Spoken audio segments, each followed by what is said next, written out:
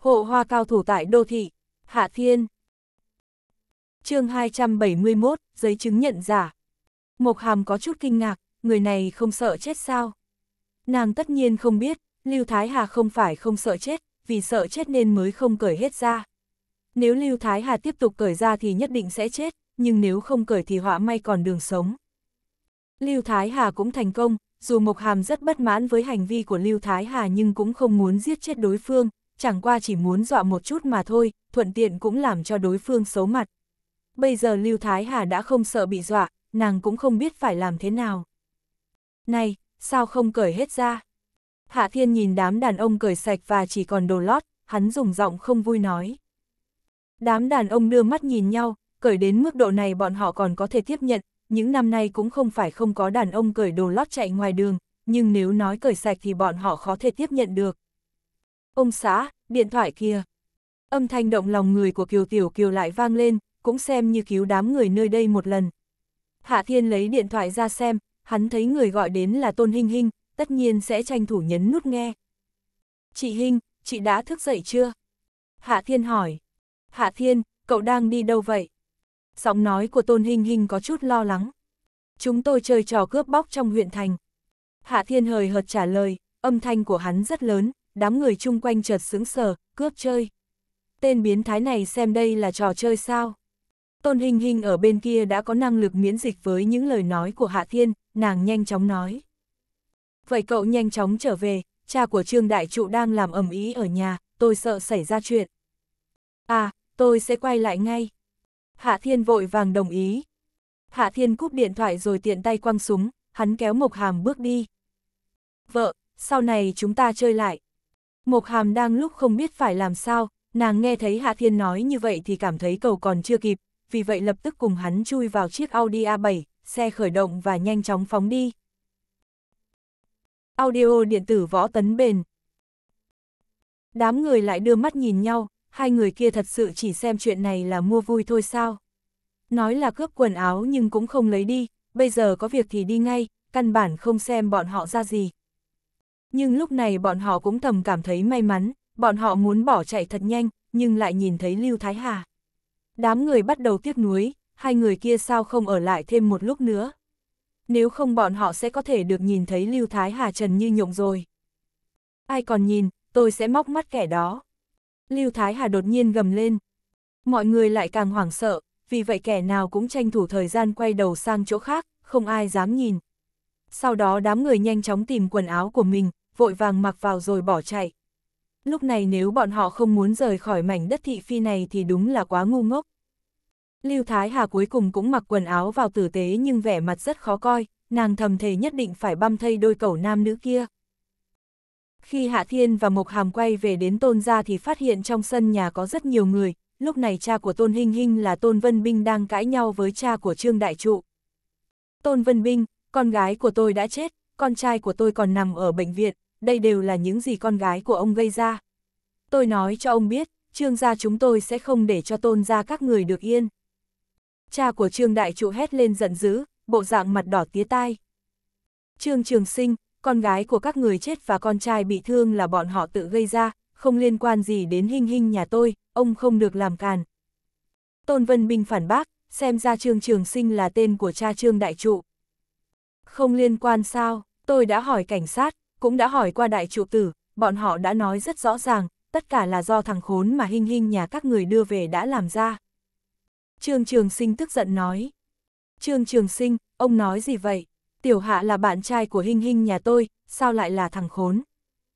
Tôn Vân Binh rất tức giận. Dù thật là do cậu ấy làm thì cũng là phòng vệ, nếu không sao cảnh sát chẳng bắt người. Còn nữa, Trương Trường Sinh, đại trụ tử nhà các người buôn thuốc phiện, còn đánh tôi bất tỉnh, đưa tôi vào bệnh viện.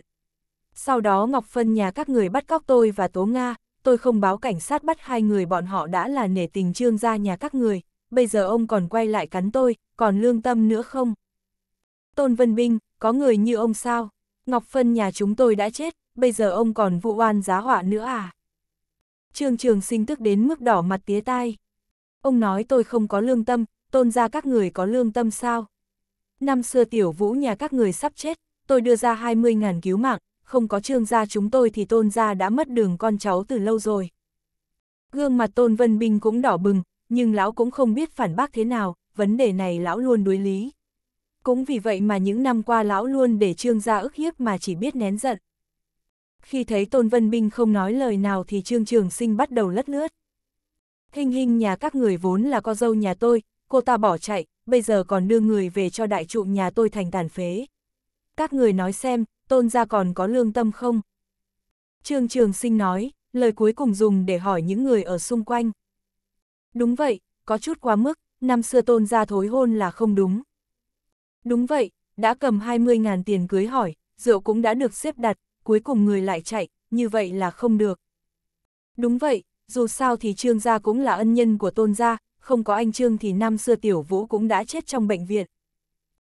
Ý nghĩ của nông dân rất đơn giản, đã thu tiền hỏi, đã xếp rượu, như vậy coi như chính thức kết hôn. Vì vậy đối với mọi người thì tôn hình hình là không đúng, còn năm xưa trương gia dùng 20.000 mua một cô con dâu cũng là chuyện bình thường. Trong nông thôn thường có những sự việc thế này, thậm chí anh thiếu tiền kết hôn còn gả em ra ngoài để thu chút tiền, không gì không có. Chú trường sinh, chú mở miệng là nói thằng khốn này nọ, dựa theo pháp luật thì tôi và Trương Đại Trụ không có quan hệ gì cả. Dù nhà chúng tôi cầm của nhà chú 20 ngàn, nhưng khi Trương Đại Trụ ở Giang Hải, đã lấy của tôi 50 ngàn. Tôn Hình Hình không nhịn được phải mở miệng. Tóm lại tôi và Trương Đại Trụ không có quan hệ gì cả, Hạ Thiên cũng không phải thằng khốn, cậu ấy là bạn trai của tôi. Cô nói không có quan hệ thì không có sao. Trương Trường Sinh hừ một tiếng. Hình Hình, cô muốn nói theo luật phải không? Đừng tưởng tôi ít học mà không hiểu pháp luật, tôi biết cưới xin phải đăng ký kết hôn, các người đã từng đăng ký kết hôn, đã có hôn thú. Điều này sao có thể? Tôn Hình Hình không thể hiểu. Tới bây giờ tôi còn chưa từng cùng Trương Đại Trụ đi đăng ký kết hôn, hơn nữa năm xưa tôi mới 16 tuổi, sao có thể đăng ký được? Các người không đăng ký vào năm xưa, nhưng đăng ký nửa tháng trước. Trên mặt Trương Trường sinh lộ ra nụ cười đắc ý. Cô không tin sao, xem đi, đây là giấy hôn thú của các người. Trương Trường sinh lấy ra một quyển sổ hồng, lão dơ lên cao nói. Tất cả mọi người xem, mọi người cùng làm chứng, đây có phải là giấy hôn thú giữa Hinh Hinh và đại trụ tử nhà chúng tôi không? Tất cả thôn dân đến vây quanh Trương Trường Sinh, mọi người cùng nhìn rồi nghị luận rộn rã. Đúng rồi. Đúng vậy, đây không phải là ảnh của đại trụ tử và Hinh Hinh sao? Đúng vậy, đây là bộ dạng của Hinh Hinh vào lúc này, nhìn này, rõ ràng là đăng ký vào đầu tháng. Tôn Hinh Hinh nghe đám người nghị luận mà cảm thấy không ổn, nàng vội vàng chụp lấy giấy hôn thú để xem. Nàng chợt sững sốt, bên trên đúng là tên của nàng và Trương Đại Trụ, có cả số chứng minh, ảnh cũng là hình chụp chung của nàng và Trương Đại Trụ. Giả, đây là giấy chứng nhận giả. Tôn Hình Hình tức giận nói. Đây là giấy đăng ký vào ngày mùng 2 tháng 8, lúc đó tôi không trở về, 6 năm qua tôi luôn ở Giang Hải, sao có thể cùng Trương Đại Trụ về Lâm Giang đăng ký kết hôn. Hình Hình, là thật hay giả cũng không cần cô phải nói, cô có thể đến ủy ban mà điều tra. Trương Trường Sinh sau khi cảm thấy tình cảnh như lúc này thì có chút đắc ý. Căn cứ vào pháp luật thì bây giờ cô là vợ của Trương Đại Trụ, thằng Hạ Thiên bạn trai gì của cô, chỉ là một thằng mặt trắng. Nhưng không sao, đại trụ tử nhà tôi rất rộng lượng, sẽ không quan tâm những năm qua cô tìm thằng đàn ông khác, chỉ cần cô về sống với nó là được. Thằng ngu, dám nói tao là mặt trắng sao? Hạ Thiên xuất hiện bên cạnh Tôn Hinh Hinh, hắn nhìn Trương Trường Sinh. Ông có tin tôi ném ông lên núi, biến ông thành dã nhân chính thức không? Hạ Thiên, cậu đã về. Khi thấy Hạ Thiên thì Tôn Hinh Hinh giống như thấy được cứu tinh. Bọn họ vụ oan cho tôi, rõ ràng tôi không đăng ký kết hôn với Trương Đại Trụ, bọn họ không biết lấy đâu ra giấy chứng nhận giả. Đưa tôi xem nào. Mộc Hàm khẽ vươn tay, nàng lấy giấy kết hôn xem xét cẩn thận, sau đó nói. Giấy chứng nhận này là của phòng dân chính, nhưng tấm ảnh này được ghép lại. Cái gì? Tôn Hình Hình không khỏi ngẩn ngơ. Chị nói bọn họ cầm ảnh giả đến đăng ký kết hôn sao? Cũng không sai khác nhiều lắm, thật ra điều này rất đơn giản, chỉ cần có người làm trong phòng dân chính là được. Mộc Hàm gật đầu nói, những năm gần đây làm rất nhiều giấy chứng nhận giả, ví dụ như giấy chứng nhận cảnh sát giả, làm giả hôn thú của phòng dân chính. Tuy đều là giả nhưng nếu xét về trình độ lại là cơ cấu hợp pháp, nếu nói theo lý, gặp những trường hợp thế này thường rất phiền. Như vậy cũng được sao? Hạ Thiên nghĩ mãi mà không hiểu, hắn nhìn Trương Trường Sinh nói. Chúng ta chụp ảnh Trương Trường Sinh và Trương Đại Trụ, như vậy đi đăng ký chẳng phải cho hai người này kết hôn với nhau sao? À, điều này, hai người bọn họ là đàn ông. Mộc Hàm có chút dở khóc dở cười. Đàn ông thì sao, tôi thấy cha con bọn họ rất xứng, cả hai đều quá ngu, nói không chừng đều là đồng tính luyến ái. Hạ Thiên không cho là đúng. chương 272, dùng quốc đánh người. Tôn hình hình vì chuyện giấy chứng nhận hôn thú giả mà tâm tình không được tốt, khi nghe được những lời của Hạ Thiên thì cũng không khỏi cười thành tiếng. Tiểu sắc lang này cũng quá ác, tuy những năm nay đồng tính luyến ái cũng là thường, nghe nói nước ngoài còn cho đồng tính kết hôn, nhưng cha con Trương Trường Sinh và Trương Đại Trụ là đồng tính mà kết hôn thì rõ ràng xưa nay chưa từng có. Nếu Hạ Thiên thật sự làm ra giấy chứng nhận hôn thú như vậy thì có thể nói là kỳ quan toàn cầu. Trương Trường Sinh vốn đang cực kỳ đắc ý nhưng cũng vì những câu nói của Hạ Thiên làm cho tức giận run rẩy, lão dùng ánh mắt căm tức nhìn Hạ Thiên. Mày nói bậy bạ gì vậy?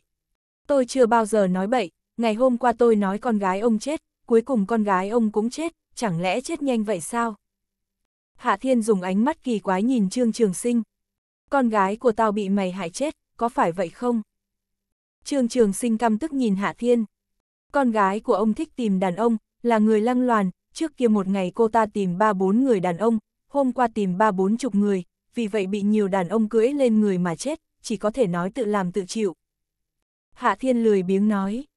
Con gái của ông quá xấu, lại cực kỳ bẩn, tôi không có hứng thú với cô ta, vì vậy ông đừng nghi oan cho tôi, để miễn cho người ta nói tôi không biết cách thưởng thức.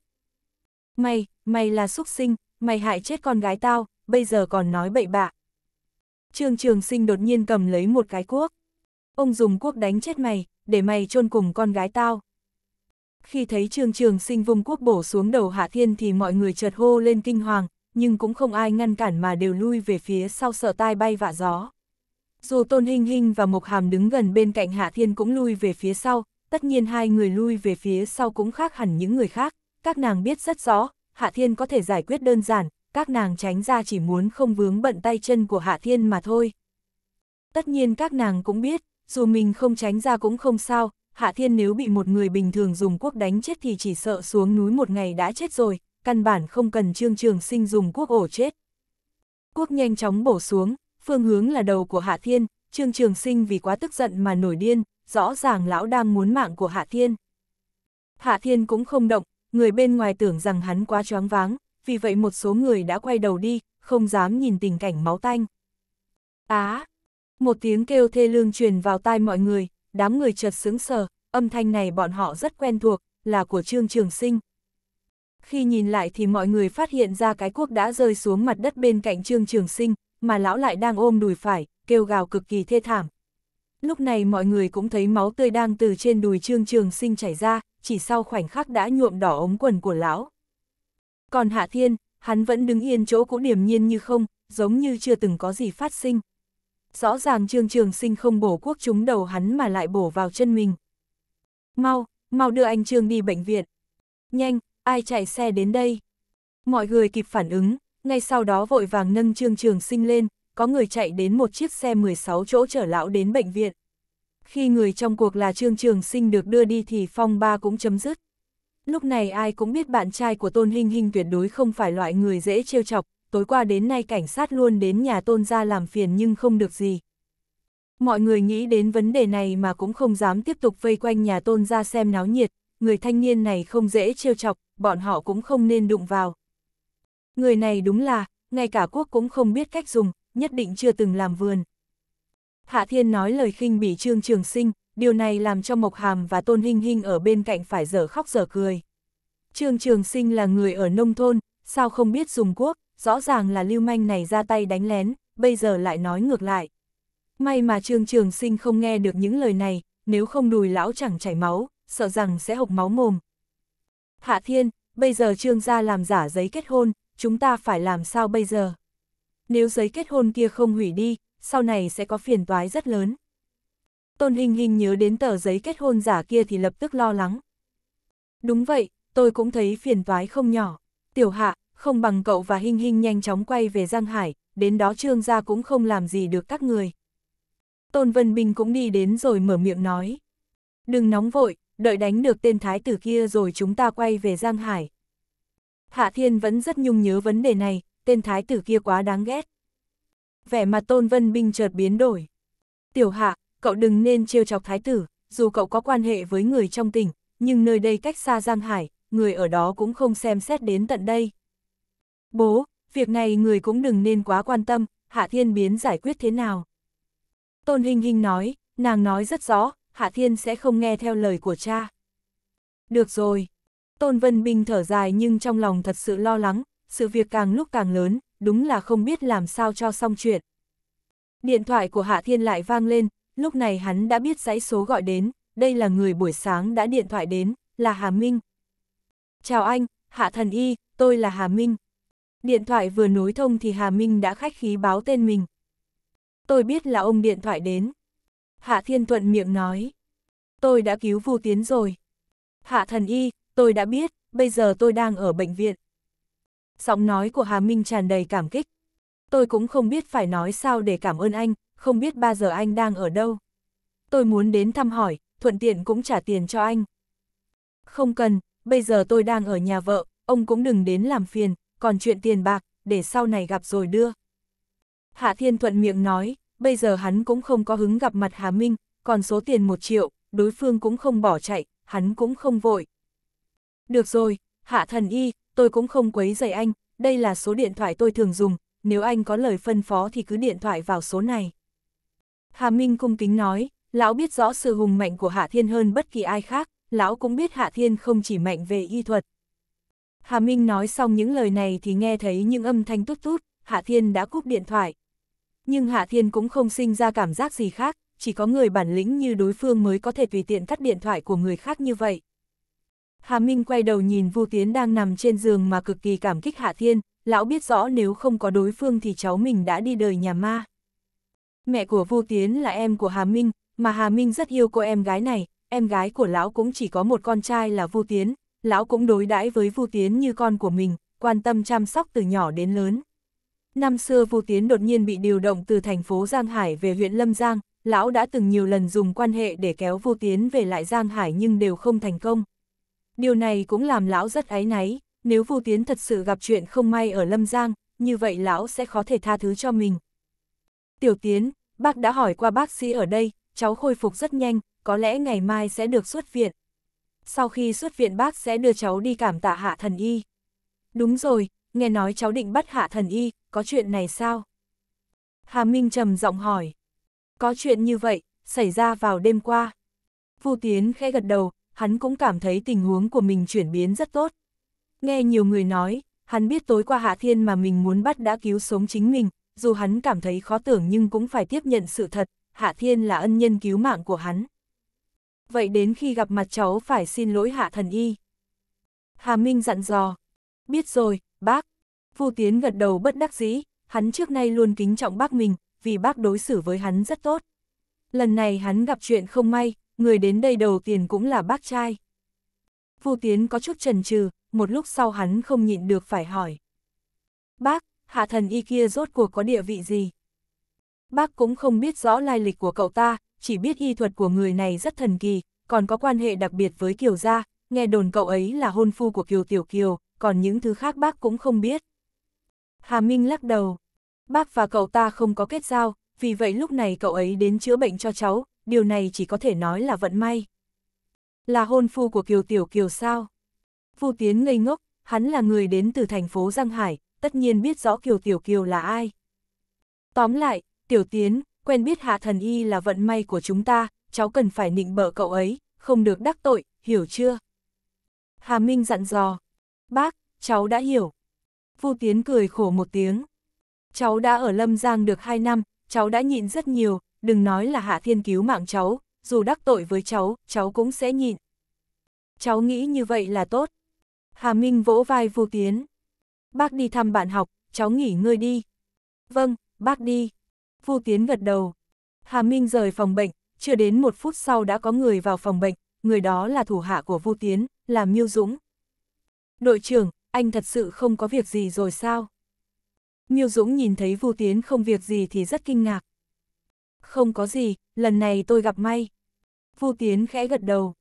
Đội trưởng, thật sự là Hạ Thiên kia cứu mạng anh sao? Miêu Dũng lại hỏi, tất nhiên hắn luôn cảm thấy vấn đề này quá khó tin. Đúng là cậu ấy. Vu Tiến cười khổ một tiếng, sau đó hắn di chuyển chủ đề. Không nói đến những vấn đề này, tôi hỏi cậu, điều tra ra tin tức gì chưa? chương 273, các hoạt động ngầm bắt đầu. Miêu Dũng vô thức nhìn ra cửa sổ phòng bệnh, sau đó hắn hạ giọng nói. Đội trưởng, tôi tự mình tìm nhân chứng nhưng không thu hoạch gì, ông chủ quán chỉ nói nghe thấy tiếng hô cướp, cũng thấy có hai người bỏ chạy, nhưng bộ dạng hai người kia thế nào thì không biết. Miêu Dũng dừng lại một chút rồi bổ sung. Tôi còn hỏi một số người khác, cũng không ai biết kẻ nào ra tay, chỉ biết là án cướp. Ngược lại có người nghị luận, nói rằng hai tên thanh niên kia không còn tiền trích hút, vì vậy ra tay với cả cảnh sát. Vu Tiến lắc đầu, vẻ mặt hắn có chút ngưng trọng. Đây không phải là án cướp, bọn họ muốn giết tôi. Miêu Dũng nghe như vậy thì vẻ mặt biến đổi. Đội trưởng, anh xác định sao? Tôi rất xác định, tuy bọn họ cướp ví của tôi nhưng tạo ra vụ cướp chỉ là biểu hiện bề ngoài mà thôi, thực tế hai tên kia chỉ hô cướp rồi lập tức dùng dao. Nếu thật sự là cướp, dưới tình huống tôi không phản kháng, sao phải ra tay? Vu Tiến đã nhiều lần nhớ lại tình huống khi đó, cuối cùng hắn xác định đây không phải là cướp, chính là một vụ ám sát. Nhưng, đội trưởng, khoảng thời gian này hình như anh không đắc tội ai thì phải, ai có cửu hận với anh, phải ép anh vào chỗ chết. Miêu Dũng cảm thấy rất khó hiểu. Vu Tiến không nói gì, hắn có thể đại khái đoán được là kẻ nào ra tay. Ngày hôm qua thái tử đột nhiên truyền lời, bắt hắn phải bắt Tôn Hinh Hinh đưa đến, nhưng cuối cùng hắn lại không đưa Tôn Hinh Hinh đến, vì vậy mà đối phương rất bất mãn. Có lẽ cuối cùng thái tử đã không nhịn được mà ra tay với hắn. Đội trưởng, có phải thái tử? Miêu Dũng đột nhiên mở miệng hỏi. Vu Tiến lắc đầu. Thôi bỏ, không cần suy đoán vô vị. Miêu Dũng, cậu tiếp tục tìm vài anh em đáng tin để điều tra, nhất định phải bắt bằng được hai tên thanh niên kia. Tuy Vu Tiến nói như vậy nhưng đã cơ bản xác nhận chuyện lần này do thái tử làm ra, nhưng vấn đề là hắn không có chứng cứ. Bây giờ cơ hội duy nhất của hắn là bắt cho được hai tên thanh niên kia, để xem cả hai có khai ra kẻ chủ mưu sau lưng hay không. Được rồi, đội trưởng, tôi đi làm việc trước, anh nghỉ ngơi cho tốt. Miêu Dũng gật đầu, sau đó hắn nhanh chóng cáo từ. Không lâu sau có người tiến vào, là một người đàn ông hơn 40, đeo một cặp kính, dáng người hơi gầy, có vẻ rất nhã nhặn nhưng khí độ rất bất phàm. Khi thấy người vào phòng thì Vu Tiến chợt lắp bắp kinh ngạc, hắn đã nghĩ sẽ xuống giường nghênh đón. Chủ tịch Phương, sao anh lại đến đây? Đừng, đừng động. Người đén là chủ tịch huyện Lâm Giang tên là Phương Thanh Vân, tuy hắn là nhân vật số 2 sau Thái Vi Dân ở Lâm Giang, nhưng thực tế cũng không có bao nhiêu dân chúng nghe qua cái tên Phương Thanh Vân. Thái Vi Dân nắm hết quyền hành, Phương Thanh Vân làm chủ tịch huyện, thực tế chỉ là bù nhìn trong mắt người khác. Phương Thanh Vân tiến lên vài bước đè vai Vu Tiến xuống, không cho hắn ngồi dậy. Phương Thanh Vân nói, thôi khỏi, bây giờ cậu là người bệnh, cần nằm nghỉ ngơi. Chủ tịch Phương, thật ra tôi cũng không sao. Vu Tiến có chút cảm giác được sủng ái mà kinh hoàng, thật ra hắn cũng không quá quen thuộc Phương Thanh Vân, vì vậy chủ tịch đến tận đây cũng làm hắn bất ngờ. Tiểu Vu, nghe nói cậu không có việc gì tôi cũng yên tâm. Ôi, huyện Lâm Giang chúng ta liên tục phát sinh những sự việc quá ác liệt, đúng là làm lòng người đau đớn. Phương Thanh Vân có vẻ rất chua xót, đây cũng không phải là lời nói dối, những chuyện cướp bóc giết người cũng thường hay phát sinh ở huyện Lâm Giang, nhưng mỗi lần điều tra đều đi vào ngõ cụt, căn bản không tra được gì. Chủ tịch Phương, là tôi bất lực. Vu Tiến rất áy náy, Lâm Giang phát sinh rất nhiều vụ án có tính chất ác liệt nhưng không thể phá án và bắt giam, hắn là đội trưởng đội cảnh sát hình sự, tất nhiên khó tránh khỏi liên quan. Tiểu Vu, tôi biết rõ, đây không phải là lỗi của cậu. Phương Thanh Vân lắc đầu. Cậu là cảnh sát hình sự vĩ đại nhưng luôn gặp phải lực cản, thường không thể phát huy năng lực và tài hoa. Nếu muốn nói sai thì cũng là tôi sai, thân là chủ tịch nhưng không thể tạo ra hoàn cảnh thích hợp. Chủ tịch Phương, sao có thể trách anh được? Vu Tiến vội vàng nói. Phương Thanh Vân khẽ thở dài. Tiểu Vu, huyện Lâm Giang đã bị bóng đen bao quanh và không nhìn thấy mặt trời, tôi có trách nhiệm cho mọi người được nhìn thấy ánh sáng công lý, tôi cần cậu hỗ trợ. Vu Tiến không khỏi ngẩn ngơ. Chủ tịch Phương, anh, anh muốn tôi trợ giúp điều gì? Rất đơn giản, cậu nhanh chóng khỏi bệnh, sau đó tập kích bắt hung thủ. Phương Thanh Vân nói. Chủ tịch Phương, anh yên tâm, ngày mai tôi có thể xuất viện, tôi nhất định sẽ nhanh chóng bắt được hung thủ. Vu Tiến vội vàng đảm bảo. Được rồi, việc này nhớ phải nắm chặt. Phương Thanh Vân gật đầu, hắn đưa cho Vu Tiến một danh thiếp, bên trên có một dãy số. Đây là số điện thoại cá nhân của tôi, máy mở 24 tiếng trong ngày, nếu cậu gặp phải khó khăn thì có thể điện thoại cho tôi bất cứ lúc nào. Vâng, Vu Tiến có chút kích động. Tôi còn một hội nghị quan trọng, sẽ không ở đây lâu, cậu nên bảo dưỡng cho tốt, nhanh chóng lành bệnh. Phương Thanh Vân vỗ võ vai Vu Tiến, sau đó hắn đứng lên đi ra ngoài. Chủ tịch Phương, anh đi thong thả. Mãi đến khi Phương Thanh Vân rời khỏi phòng bệnh thì Vu Tiến vẫn rất kích động, đúng là không dễ dàng, sau 2 năm, cuối cùng cũng có lãnh đạo tình nguyện giúp đỡ hắn. Tuy Vu Tiến biết Phương Thanh Vân giúp đỡ vì có mục đích, nhưng điều này không quan trọng.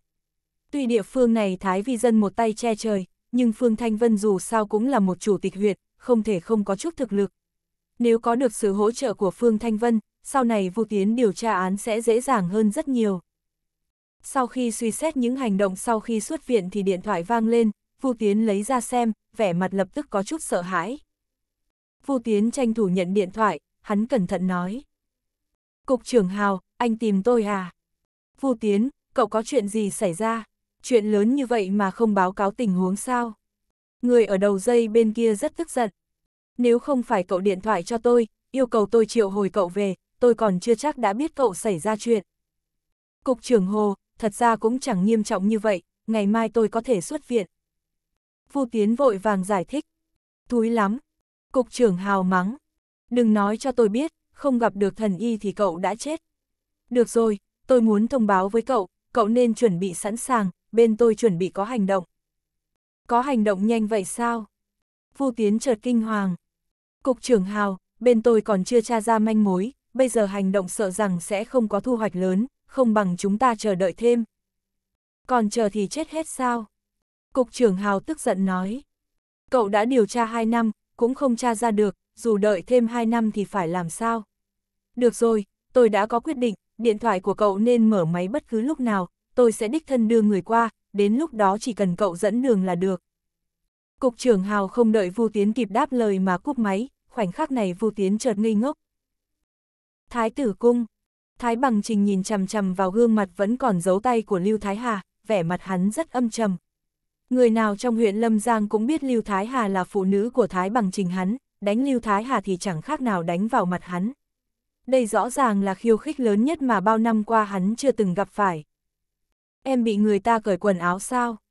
Thái Bằng Trình đột nhiên mở miệng, giọng điệu rất lạnh. Bằng Trình, em, em bị con đàn bà kia chĩa súng vào đầu, không còn cách nào khác, vì vậy. Vẻ mặt Lưu Thái Hà rất sợ hãi, nàng vội vàng giải thích. Thái Bằng Trình đột nhiên lộ ra nụ cười, giọng điệu của hắn rất dịu dàng. Được rồi, đừng căng thẳng, anh không trách em, dưới tình huống đó em bảo vệ tính mạng là đúng, giữ lại tính mạng sẽ có lúc báo thù, chỉ cần còn sống là tốt. Thái Bằng Trình vươn tay vuốt mặt Lưu Thái Hà, hắn tiếp tục dùng giọng dịu dàng nói. Thái Hà, nhớ kỹ lời anh, sau này gặp phải tình huống nào thì bảo vệ tính mạng mới là quan trọng nhất. Bằng Trình, anh thật tốt với em. Lưu Thái Hà bổ nhào vào lòng Thái Bằng Trình, vẻ mặt giạt rào hạnh phúc. Gần đây trong huyện không quá yên ổn, em phải chú ý một chút, còn Tôn Hinh Hinh kia, anh đang nhờ bạn ở Giang Hải điều tra tình huống, em tạm thời đừng xen vào. Thái Bằng Trình ôm Lưu Thái Hà đặt lên đùi, hắn dùng giọng dịu dàng nói. Vâng, em hiểu. Lưu Thái Hà khẽ gật đầu. Nghe nói Vu Tiến đã tỉnh, em xử lý hai tên kia đi, để phòng ngừa hậu hoạn. Thái Bằng Trình còn nói. Em đã cho người đi làm. Lưu Thái Hà khẽ nói. Bằng Trình, anh yên tâm, dù có gì em cũng sẽ không để ảnh hưởng đến anh. Yên tâm đi, không có gì xảy ra đâu. Thái Bằng Trình cười nhạt một tiếng. Kẻ nào muốn chúng ta gặp phải chuyện không may, trước tiên hắn phải gặp chuyện không may trước cái đã. Vâng, Lưu Thái Hà khẽ gật đầu. Phân cục công an quận Đông thành phố Giang Hải. Tinh thần của lãnh băng băng không được tốt lắm, cũng không biết vì sao mà tối qua đến nay nàng luôn cảm thấy trống vắng, vì vậy tối qua không ngủ ngon giấc. Bây giờ tất nhiên nàng cũng không có tinh thần, cũng may nàng là phó cục trưởng, không cần tự mình điều tra án, vì vậy nàng mệt mỏi trộm nằm trong phòng làm việc, cũng không ai làm gì được. Nhưng khi lãnh băng băng đang nằm ngủ trên ghế thì điện thoại vang lên, nàng giật mình thức tỉnh, nàng cầm điện thoại thì thấy dãy số lạ, vì vậy không khỏi có chút thất vọng. Là lãnh băng băng phân cục quận Đông phải không? Lãnh băng băng lười biếng nhận điện thoại, bên kia truyền đến một âm thanh rất hào sảng. Tôi là hào đồ. Hào đồ, hào đồ nào, à. Lãnh băng băng lúc này coi như hoàn toàn thanh tình. Ông là cục trưởng hào sao?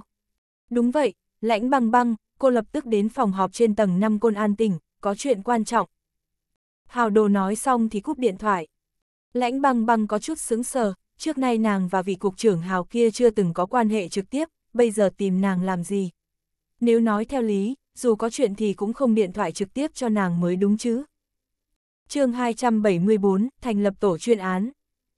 Tuy lãnh băng băng rất nghi hoặc nhưng vẫn nhanh chóng đến cục công an tỉnh, ấn tượng của nàng về cục trưởng hào kia là khá tốt, danh tiếng của vị cục trưởng hào đồ kia cũng khá tốt trong mắt dân chúng.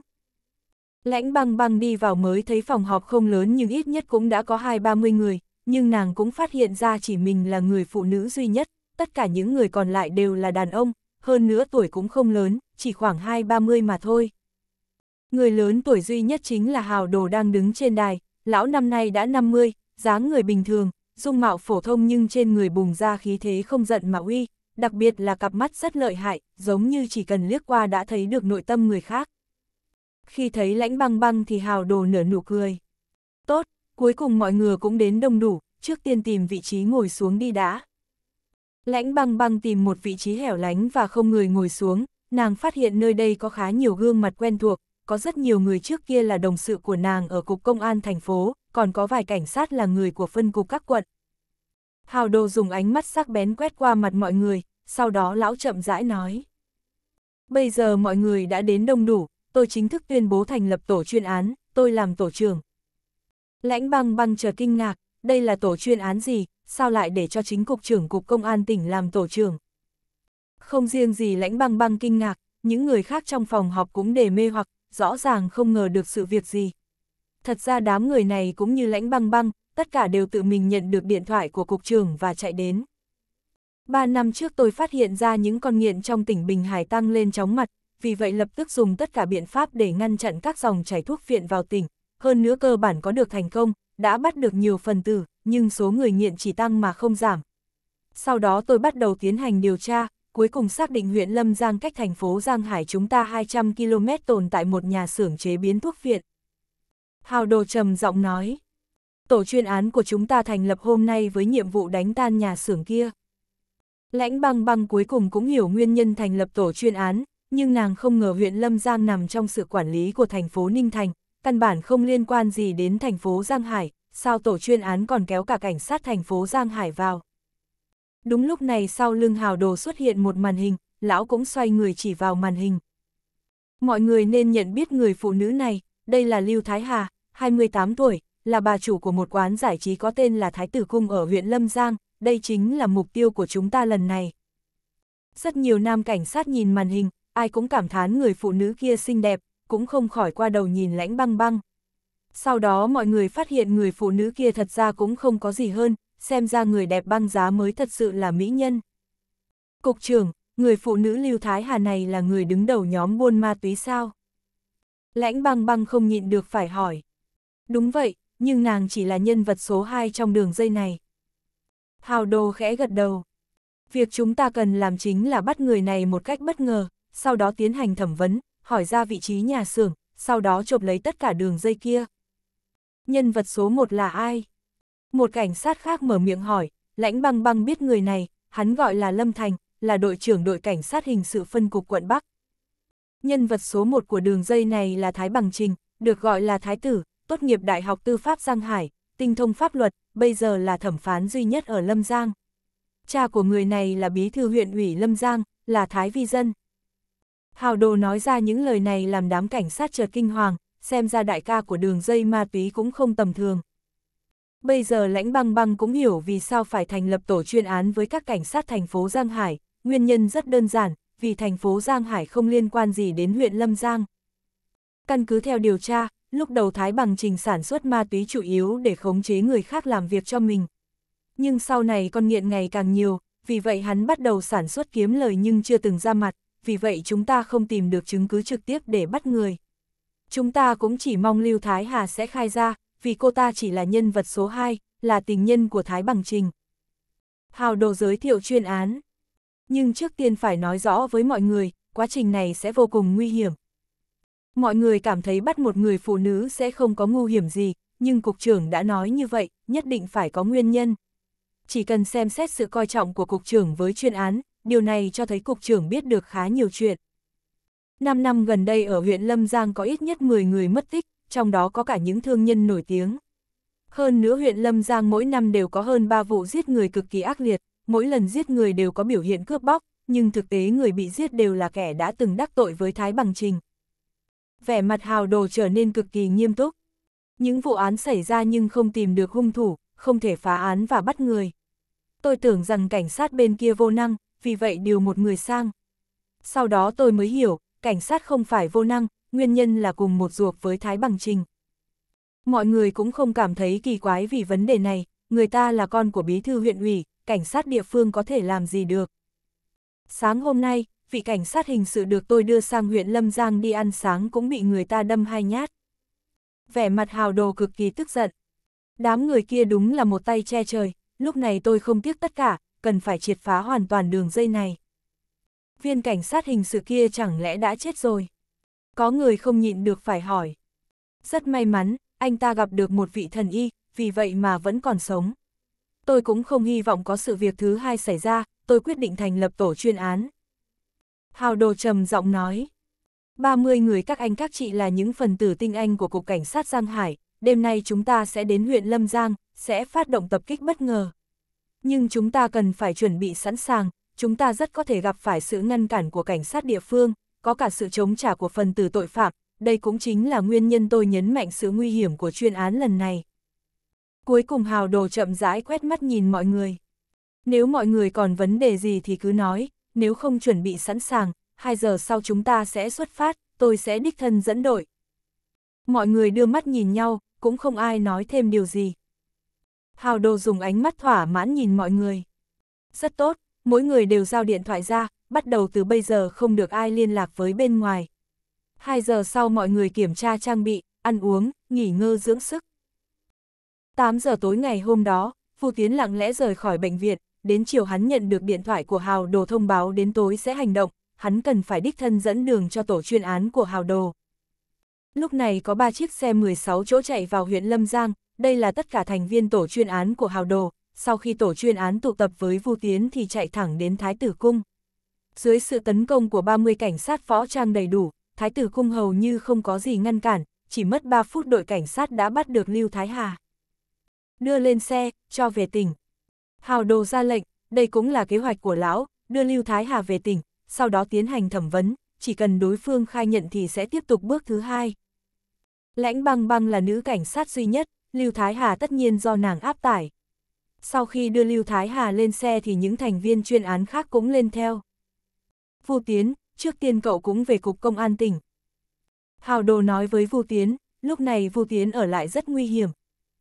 Cục trưởng Hào, bác tôi còn ở đây. Vu Tiến khẽ nói. Hà Minh sao? Hào Đồ không khỏi nhíu mày. Sao anh ta còn ở đây? Sao cậu không nói anh ấy đi trước? Cục trưởng Hào, bác tôi muốn gặp mặt một người, vì vậy không muốn đi ngay. Vu Tiến bất đắc dĩ nói. Lên xe trước rồi nói sau. Hào đồ kéo tay Vu Tiến lên xe, sau đó lão phân phó. Chạy đi. Vài phút sau ba chiếc xe 16 chỗ rời khỏi huyện thành Lâm Giang, Hào đồ thở phào một hơi. Đúng lúc này một chiếc xe tải đột nhiên vọt ra chắn ngang đường, mà tiếng còi xe cảnh sát cũng từ xa truyền đến. Không tốt, đám người kia đã đuổi đến. Vẻ mặt Vu Tiến chợt biến đổi. Vài người tiến lên bắt nhóm người trên chiếc xe tải kia. Hào đồ phân phó. Vài người lên tiếng và xuống xe, bọn họ vọt đến chiếc xe tải. Một lát sau, bọn họ chợt quay về. Cục trưởng, lái xe đã bỏ chạy, tay lái bị hủy, bây giờ chiếc xe tải đã hư hại, căn bản không thể di rời. Một cảnh sát báo cáo. Gặp quỷ rồi. Vẻ mặt hào đồ trở nên âm trầm. Tìm vị trí hiểm trợ phù hợp, chuẩn bị chiến đấu. Tiếng còi cảnh sát ngày càng gần, chỉ một lát sau thì xe cảnh sát đã chạy đến, hơn 10 cảnh sát bước xuống xe, tất cả đều móc súng chĩa về phía trước, đồng thời cũng có người dùng loa nói lớn. Đám cướp nghe đây, tôi là cục trưởng khúc phong cục công an huyện Lâm Giang, các người đã bị bao vây, lập tức thả con tin đầu hàng. Hào đồ nghe như vậy thì giận tím mặt, lão đường đường là cục trưởng cục công an tỉnh, bây giờ lại bị đối phương cho là cướp, không giận được sao. Khúc Phong, tôi là hào đồ công an tỉnh, tôi ra lệnh cho anh lập tức rút lui. Hào đồ quát lên nghiêm nghị. Người tự xưng là Khúc Phong chợt im lặng, một lúc lâu sau cũng không nói gì. chương 275, đuổi theo cảnh sát tỷ tỷ. Khúc Phong, anh cút đi cho tôi. Khi thấy Khúc Phong không nói lời nào thì hào đồ tức giận quát lên. Lúc này bên kia cuối cùng cũng đáp lại, chỉ thấy một người cảnh sát trung niên đi về phía bên này, ngay sau đó đã đến trước mặt hào đồ, trên mặt lộ ra nụ cười. Cục trưởng hào, sao anh lại đến đây?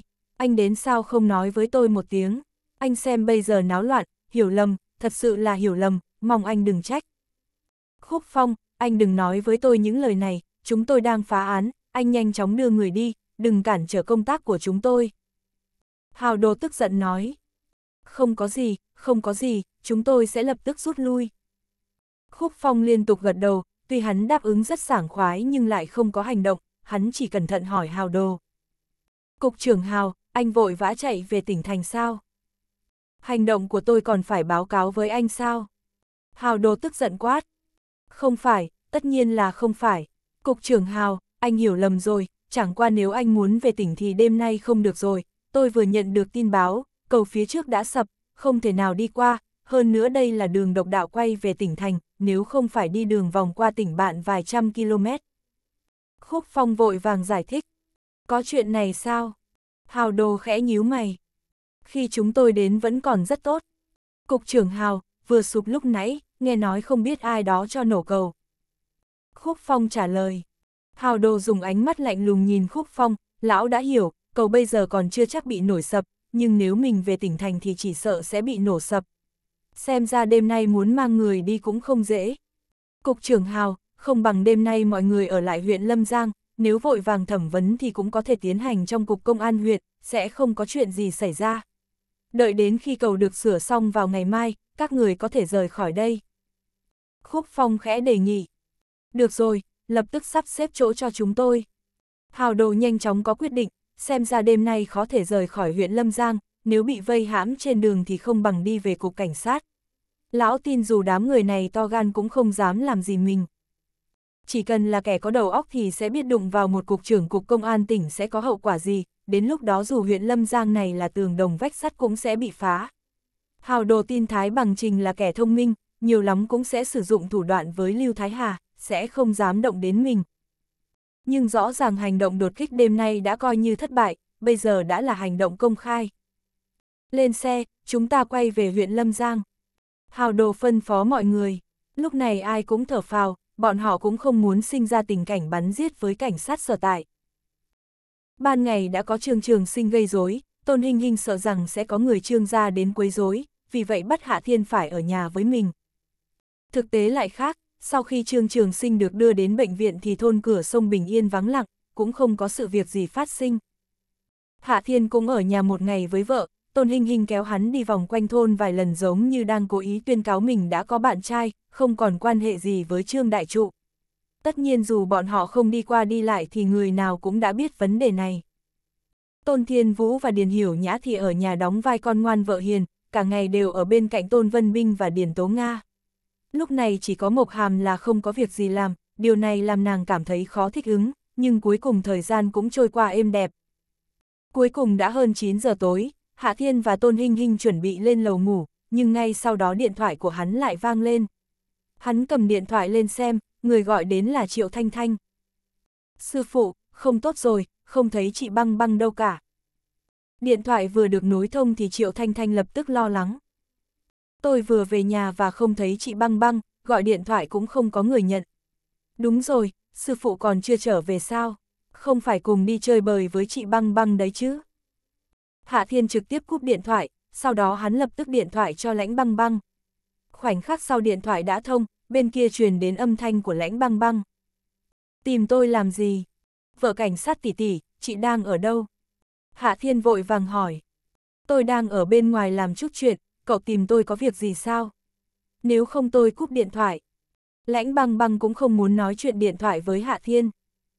Triệu Thanh Thanh điện thoại với tôi bảo không thấy chị đâu, còn nói điện thoại mà chị không bắt máy, vì vậy tôi mới điện thoại hỏi thăm tình hình. Hạ Thiên có vẻ rất vui sướng.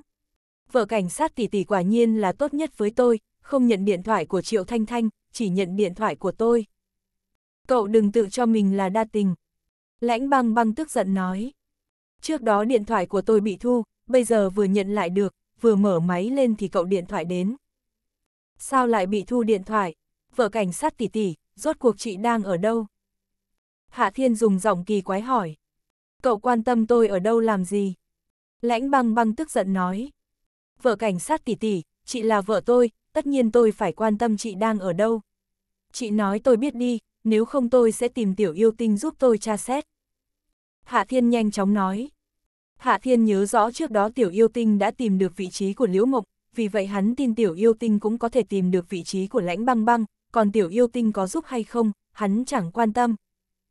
Được rồi, tôi nói cho cậu biết, tôi đang ở huyện Lâm Giang. Lãnh băng băng có chút bất đắc dĩ. Cậu giúp tôi điện thoại cho Thanh Thanh, nói rằng tạm thời tôi chưa thể quay về. Vợ cảnh sát tỷ tỷ, thì ra chị nghĩ đến tôi nên mới chạy đến huyện Lâm Giang tìm người. Hạ Thiên càng thêm vui sướng. Nếu chị đã nghĩ đến tôi, như vậy tôi sẽ lập tức đi tìm chị, bây giờ chị đang ở đâu? Ai đến huyện Lâm Giang tìm cậu? Lãnh băng băng tức giận nói, nhưng sau đó nàng lại sững sờ. Cậu đang ở huyện Lâm Giang sao? Đúng vậy, vợ cảnh sát tỷ tỷ, ngày hôm qua tôi đã đến Lâm Giang, hôm nay chị đã chạy đến, chẳng lẽ không phải nghĩ đến tôi sao? Hạ Thiên cười hì hì nói. Cậu muốn nghĩ sao cũng được. Lãnh băng băng thật sự không thể chịu được những lời nói của Hạ Thiên, nàng dứt khoát cúp điện thoại. Hạ Thiên lại gọi sang. Sau vài tiếng tút thì lãnh băng băng cuối cùng cũng phải nhận điện thoại. Cậu đừng gọi điện, bây giờ tôi đang bận. Vợ cảnh sát tỷ tỷ, tôi muốn tìm chị, nói cho tôi biết chị đang ở đâu. Hạ Thiên nói, trễ thế này rồi, cậu đến tìm tôi làm gì? Lãnh băng băng tức giận nói, bây giờ tôi đang bận thẩm vấn phạm nhân. Tôi đến tìm chị, chị vượt đường xa đến với tôi, sao tôi không đi tìm chị cho được? Hạ Thiên cười hì hì nói, ai vượt đường xa đến với cậu? Lãnh băng băng có chút giở khóc giở cười, lưu manh kia rõ ràng là tự mình đa tình, vì vậy nàng nói. Được rồi, tôi đang ở cục công an huyện Lâm Giang, cậu muốn đến thì đến. Lãnh băng băng nói xong thì cúp điện thoại, Hạ Thiên sau khi nhận được địa chỉ cũng không điện thoại lại. Nhưng ngay sau đó Hạ Thiên lại nhận được điện thoại, Triệu Thanh Thanh gọi đến. Sư phụ, sao anh không nghe điện thoại của tôi? Rốt cuộc anh có ở cùng một chỗ với chị băng băng không? Anh sẽ lập tức ở cùng một chỗ với chị ấy, em đừng gọi đến làm phiền không gian riêng tư của anh. Hạ Thiên nói một câu rất mất hứng, sau đó hắn cúp điện thoại. Hạ Thiên, cậu muốn ra ngoài sao? Giọng nói của Tôn Hinh Hinh vang lên bên cạnh, nàng đã lên giường chuẩn bị ngủ. Đúng vậy, chị Hinh, cảnh sát tỷ tỷ đến Lâm Giang tìm tôi, bây giờ tôi không đi thì cảnh sát tỷ tỷ nhất định sẽ rất đau lòng. Hạ Thiên nghiêm trang nói. Cậu không sợ tôi đau lòng sao? Tôn Hinh Hinh nhịn không được phải hỏi. Chị Hinh, sao chị lại đau lòng? Hạ Thiên dùng ánh mắt kỳ quái nhìn Tôn Hinh Hinh. Chẳng lẽ chị muốn đi cùng cảnh sát tỷ tỷ? Không sao, tôi mang chị theo là được. Tôn Hinh Hinh không còn gì để nói, sắc lang này giả khờ hay ngu thật. Thôi, tôi muốn ngủ, cậu đến với cảnh sát tỷ tỷ của mình đi. Tôn Hinh Hinh có chút bất đắc dĩ, thầm nghĩ sắc lang vô độ kia đi cũng tốt, tối nay nàng sẽ không bị lên dĩa, tốt xấu gì cũng ngủ ngon. À, vậy tôi đi trước, nếu chị Hinh nhớ đến tôi thì cứ điện thoại là được. Hạ Thiên nói xong thì nhảy xuống theo đường cửa sổ, lần này hắn cũng không dẫn theo Mộc Hàm, hắn quyết định chạy đến huyện thành. Tôn Hinh Hinh thở dài thật sâu, vừa rồi còn nghĩ rằng tối nay sẽ ngon giấc, nhưng Hạ Thiên vừa đi thì nàng đột nhiên phát hiện mình khó thể ngủ. Cục Công an huyện Lâm Giang Hào Đồ rời khỏi phòng thẩm vấn với vẻ mặt âm trầm, sau khi bị bắt thì Lưu Thái Hà không nói câu nào, dù đe dọa hay dụ dỗ đều không hiệu quả, điều này làm lão ý thức vụ án sẽ tương đối khó giải quyết. Lão tưởng rằng dù không bắt được Thái Bằng Trình cũng phải ép Lưu Thái Hà khai ra nhà xưởng sản xuất thuốc viện ở đâu, sau đó phá tan nhà xưởng, như vậy coi như hành động lần này là thành công. Cục trưởng Hào, người phụ nữ này đã theo Thái Bằng Trình rất lâu, muốn cô ta mở miệng thì dùng thủ đoạn bình thường là không được. Vu Tiến khẽ nói, vậy cậu có biện pháp gì sao? Hào Đồ tức giận hỏi, có nên dùng chút thủ đoạn không? Một cảnh sát ở bên cạnh khẽ đề nghị. Không được, tra tấn là trái luật. Hào Đồ lập tức phủ quyết. Nhưng tình hình rằng có thế này cũng không hiệu quả. Một cảnh sát khác thầm nói một câu. Hào đồ biết rất rõ điều này, thời gian kéo càng dài càng thì càng bất lợi với bọn họ, nhưng việc đã đến nước này thì lão cũng khó nghĩ ra biện pháp thích hợp. Âm thanh báo cháy chợt vang vọng trong khu hành chính cục công an, đám người hào đồ cũng nghe thấy những tiếng thét. Có hỏa hoạn, hỏa hoạn, chạy mau. Vẻ mặt hào đồ chợt biến đổi, khi lão xông ra thì thấy khói đen cuồn cuộn. Chạy nhanh. Hào đồ nhanh chóng quay lại phòng thẩm vấn, lão hạ lệnh. Lãnh băng băng, cô và tôi cùng áp tải phạm nhân, những người khác chú ý cảnh giới. chương 276, đội viên cứu hỏa. Đi theo lối thoát hiểm. Vu Tiến đi phía trước dẫn đường, nhưng mới chạy được vài chục mét thì hắn đã quay về. Không được, không đi được, thế lửa quá mạnh. Mau tìm đường khác. Trong lòng hào đồ bùng lên cảm giác không ổn, hắn đã đánh giá thấp mức độ hung tàn của phần tử tội phạm. Cục trưởng hào, không còn đường nào khác, cửa sổ cũng có lưới sắt bảo vệ, dù nhảy xuống cũng không được. Vẻ mặt vô tiến rất khó coi. Mọi người quay lại, dùng khăn mặt hoặc quần áo ướt phủ lên mặt, cố gắng kiên trì được càng lâu càng tốt. Làm theo lời vô tiến. Hào đồ vung tay ra lệnh. Cục trưởng, không ổn, đã mất nước. Ngay sau đó đã có cảnh sát phản hồi tin tức. Lúc này dù là ai cũng hiểu vụ hỏa hoạn này không phải việc ngoài ý muốn. Cục trưởng, chúng ta phải lao ra, có người cố ý phóng hỏa, chắc chắn lúc này sẽ không ai đến ứng cứu, chúng ta chỉ có thể dựa vào chính mình.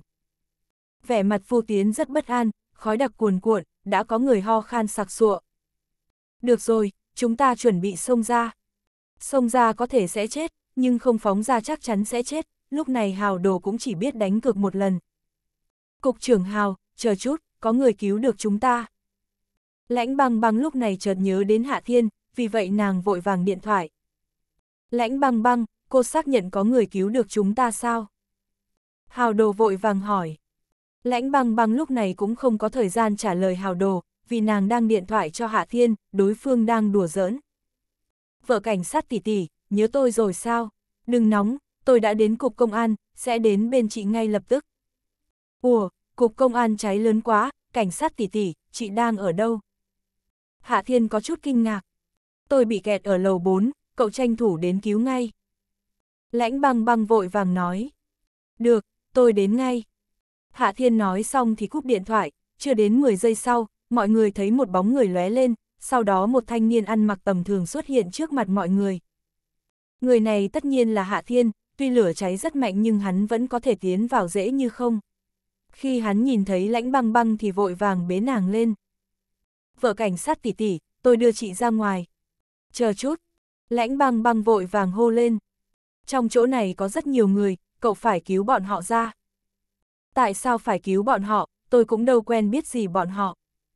Hạ Thiên cũng không quá tình nguyện, hắn quay đầu và nhìn thấy Vu Tiến, vì vậy tức giận nói. Sao anh lại thích chết như vậy? Sáng nay tôi vừa cứu anh một mạng, sao bây giờ lại đâm đầu vào chỗ chết rồi? Vu Tiến lập tức cảm thấy rất khó hiểu, làm gì có ai tình nguyện muốn chết. Nhưng hắn cũng nhận ra Hạ Thiên, tất nhiên cũng không nói gì, dù sao người này cũng đã cứu hắn một mạng. Mau cứu người, nếu không tôi chẳng quan tâm đến cậu. Lãnh băng băng thúc giục. Vợ cảnh sát tỷ tỷ, chị hôn tôi một cái, tôi sẽ cứu một người, thế nào? Hạ Thiên bắt đầu cò kè mặc cả. Cậu, lãnh băng băng vừa thẹn vừa giận, người này nghĩ gì vậy? Lúc này còn có tâm tư như vậy sao? Nhưng nàng cũng hiểu tác phong của hắn, vì vậy chừng mắt nhìn hắn rồi nói. Được rồi, cậu cứu người đi, tôi đồng ý. Phải hôn trước. Hạ Thiên chỉ vào mặt mình. Lãnh băng băng chợt sinh ra xúc động muốn để người này chết trong đống lửa, nhưng sự việc khẩn cấp, nàng cũng không thể lãng phí thời gian, vì vậy vội vàng hôn lên mặt Hạ Thiên một cái, sau đó tức giận nói.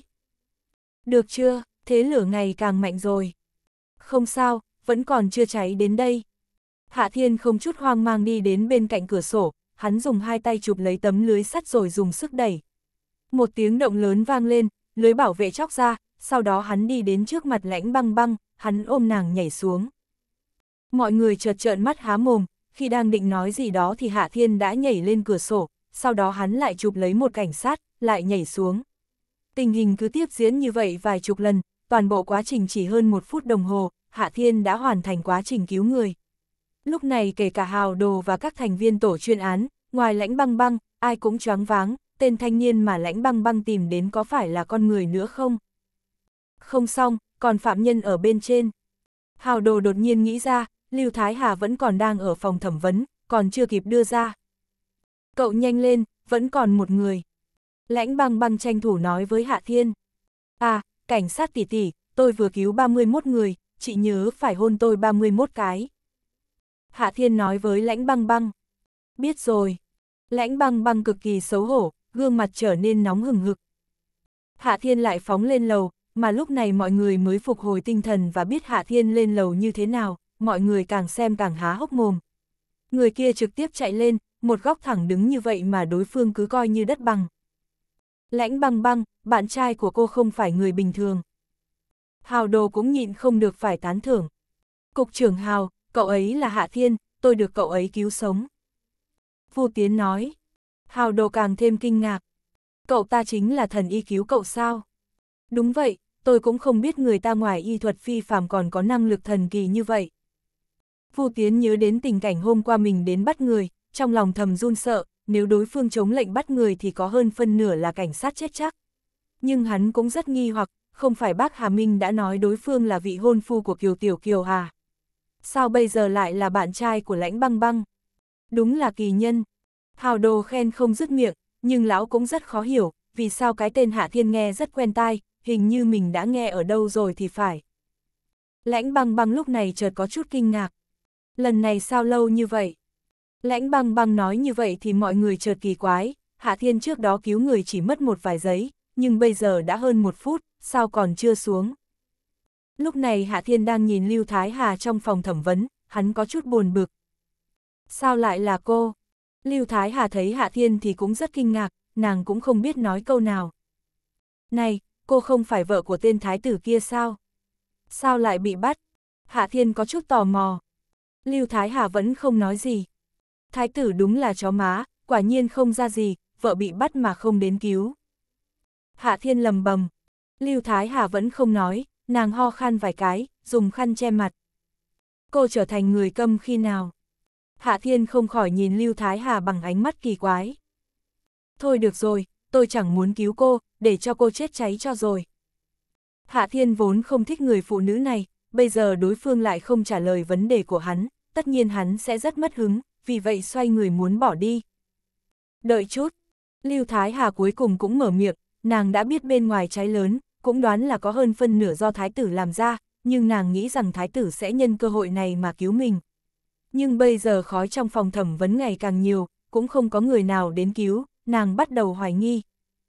Chờ cái gì nữa, cô chờ chết cháy đi, đợi sau khi chết thì khỏi cần hỏa táng, sợ rằng bị cháy thành cho rồi.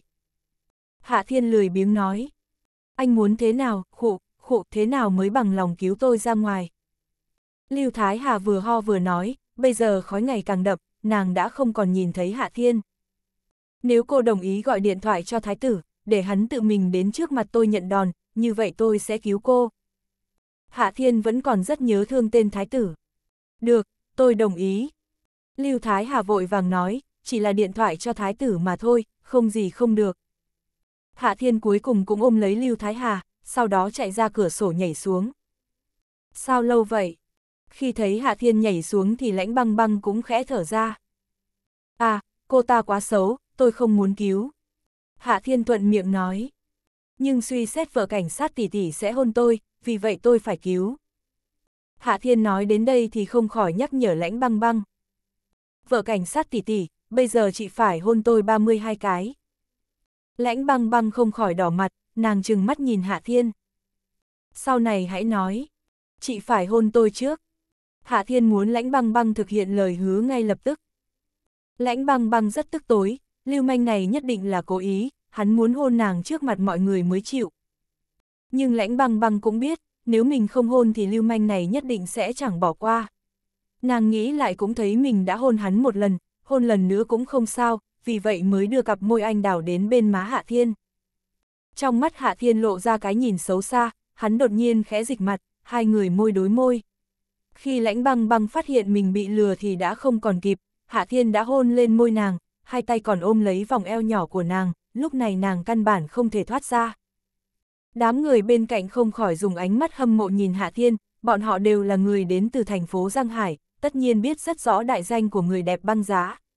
Người này có thể chinh phục người đẹp lạnh lùng nổi tiếng của Cục Công an thành phố Giang Hải, thật sự làm người ta ghen ghét và hâm mộ.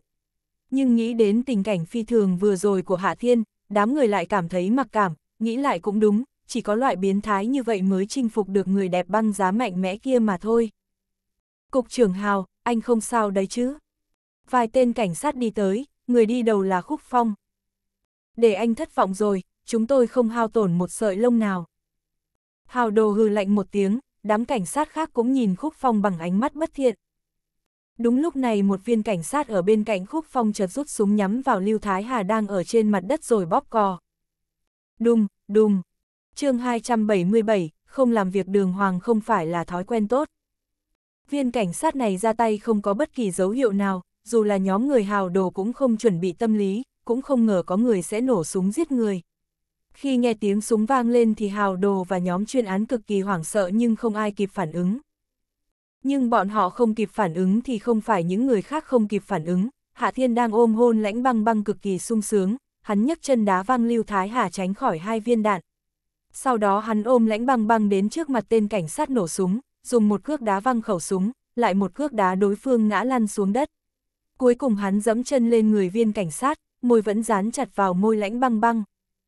Lúc này những thành viên tổ chuyên án mới kịp phản ứng, khi đám người chuẩn bị rút súng thì phát hiện viên cảnh sát vừa nổ súng đã bị Hạ Thiên dẫm dưới chân, hắn lại vẫn ôm hôn lãnh băng băng.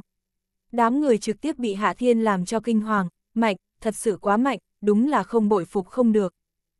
Lãnh băng băng lúc này bắt đầu giấy ruộng, khi nàng nghe thấy tiếng súng thì há mồm muốn nói chuyện, nhưng vừa há miệng thì đầu lưỡi của Hạ Thiên đã tiến vào thăm dò, ngay sau đó ép lên đầu lưỡi thơm tho của nàng. Lúc này nàng đã không nhịn được, vì vậy cắn vào lưỡi Hạ Thiên. Hạ Thiên cuối cùng cũng buông lỏng lãnh băng băng, hắn dùn ánh mắt buồn bực nhìn nàng. Vợ cảnh sát tỷ tỷ, sao chị lại cắn tôi? Cậu còn dám nói nữa sao? Lãnh băng băng nổi giận chừng mắt nhìn Hạ Thiên. Được rồi, vợ cảnh sát tỷ tỷ, nhớ còn thiếu tôi 31 lần đấy nhé. Hạ Thiên dùng giọng lo lắng để căn dặn lãnh băng băng. Cậu không biết làm việc chính trước sao? Lãnh băng băng rất tức giận. Đây là chuyện chính. Hạ Thiên ra vẻ rất vô tội, đối với hắn thì chuyện này mới quan trọng, những chuyện khác đều nhỏ nhặt, không đáng nhắc tới. Vậy thì không làm chuyện chính nữa. Lãnh băng băng tức giận nói. Vợ cảnh sát tỷ tỷ, không làm việc đường hoàng không phải thói quen tốt. Hạ Thiên nghiêm trang nói. Lãnh băng băng hoàn toàn không biết làm gì hơn, nàng xem như đã hiểu rõ, lưu manh này có tám phần vì nàng tức giận mà sinh ra. Thả, thả tôi ra. Lúc này dưới bàn chân Hạ Thiên vang lên một âm thanh. Tôi, tôi không thở nổi. Hạ Thiên cúi đầu nhìn thoáng qua bên dưới, sau đó hắn lập tức bất mãn. Sao lại là ông? Người bị Hạ Thiên dẫm chân lên ngực chính là viên cảnh sát tối qua đã hãm hại Mộc Hàm buôn thuốc phiện, là Đinh Tùng. Lúc này Đinh Tùng mới nhìn thấy bộ dạng Hạ Thiên, vì vậy mà trong ánh mắt chợt lóe lên cái nhìn sợ hãi. Là cậu. Đám người khúc phong ở phía sau bắt đầu ra vẻ tức giận quát tháo. Ninh Tùng, anh điên rồi sao? Anh có cửu hận gì với Lưu Tiểu Thư, có đáng để nổ súng giết người không? Cục trưởng. Ninh Tùng ấp úng, lão không thể nói ra nội dung. Trước tiên bắt người này lại. Lúc này hào đồ mới mở miệng. Mang theo người này và Lưu Thái Hà, chúng ta rời khỏi đây ngay. Cục trưởng Hào, anh muốn đi đâu? Khúc Phong vội vàng hỏi. Tôi muốn đi đâu không cần anh xen vào. Hào đồ quát nghiêm nghị, vừa rồi tổ chuyên án thiếu chút nữa đã rơi vào tình cảnh không xong, điều này làm lão cực kỳ phẫn nộ và tức giận. Đám người bọn họ thiếu chút nữa bị thiêu chết trong cục công an, vất vả lắm mới thoát ra được, nhưng người tình nghi thiếu chút nữa cũng bị giết chết ngay trước mắt, người ra tay lại là cảnh sát trong tỉnh Bình Hải nằm dưới sự cai quản của Hào Đồ lại sinh ra những chuyện như thế này, đúng là sỉ nhục. Đinh Tùng, là hắn sai ông đến sao? Lưu Thái Hà đột nhiên mở miệng. Lưu Tiểu Thư. Đinh Tùng ấp úng nói. Hắn muốn giết tôi sao?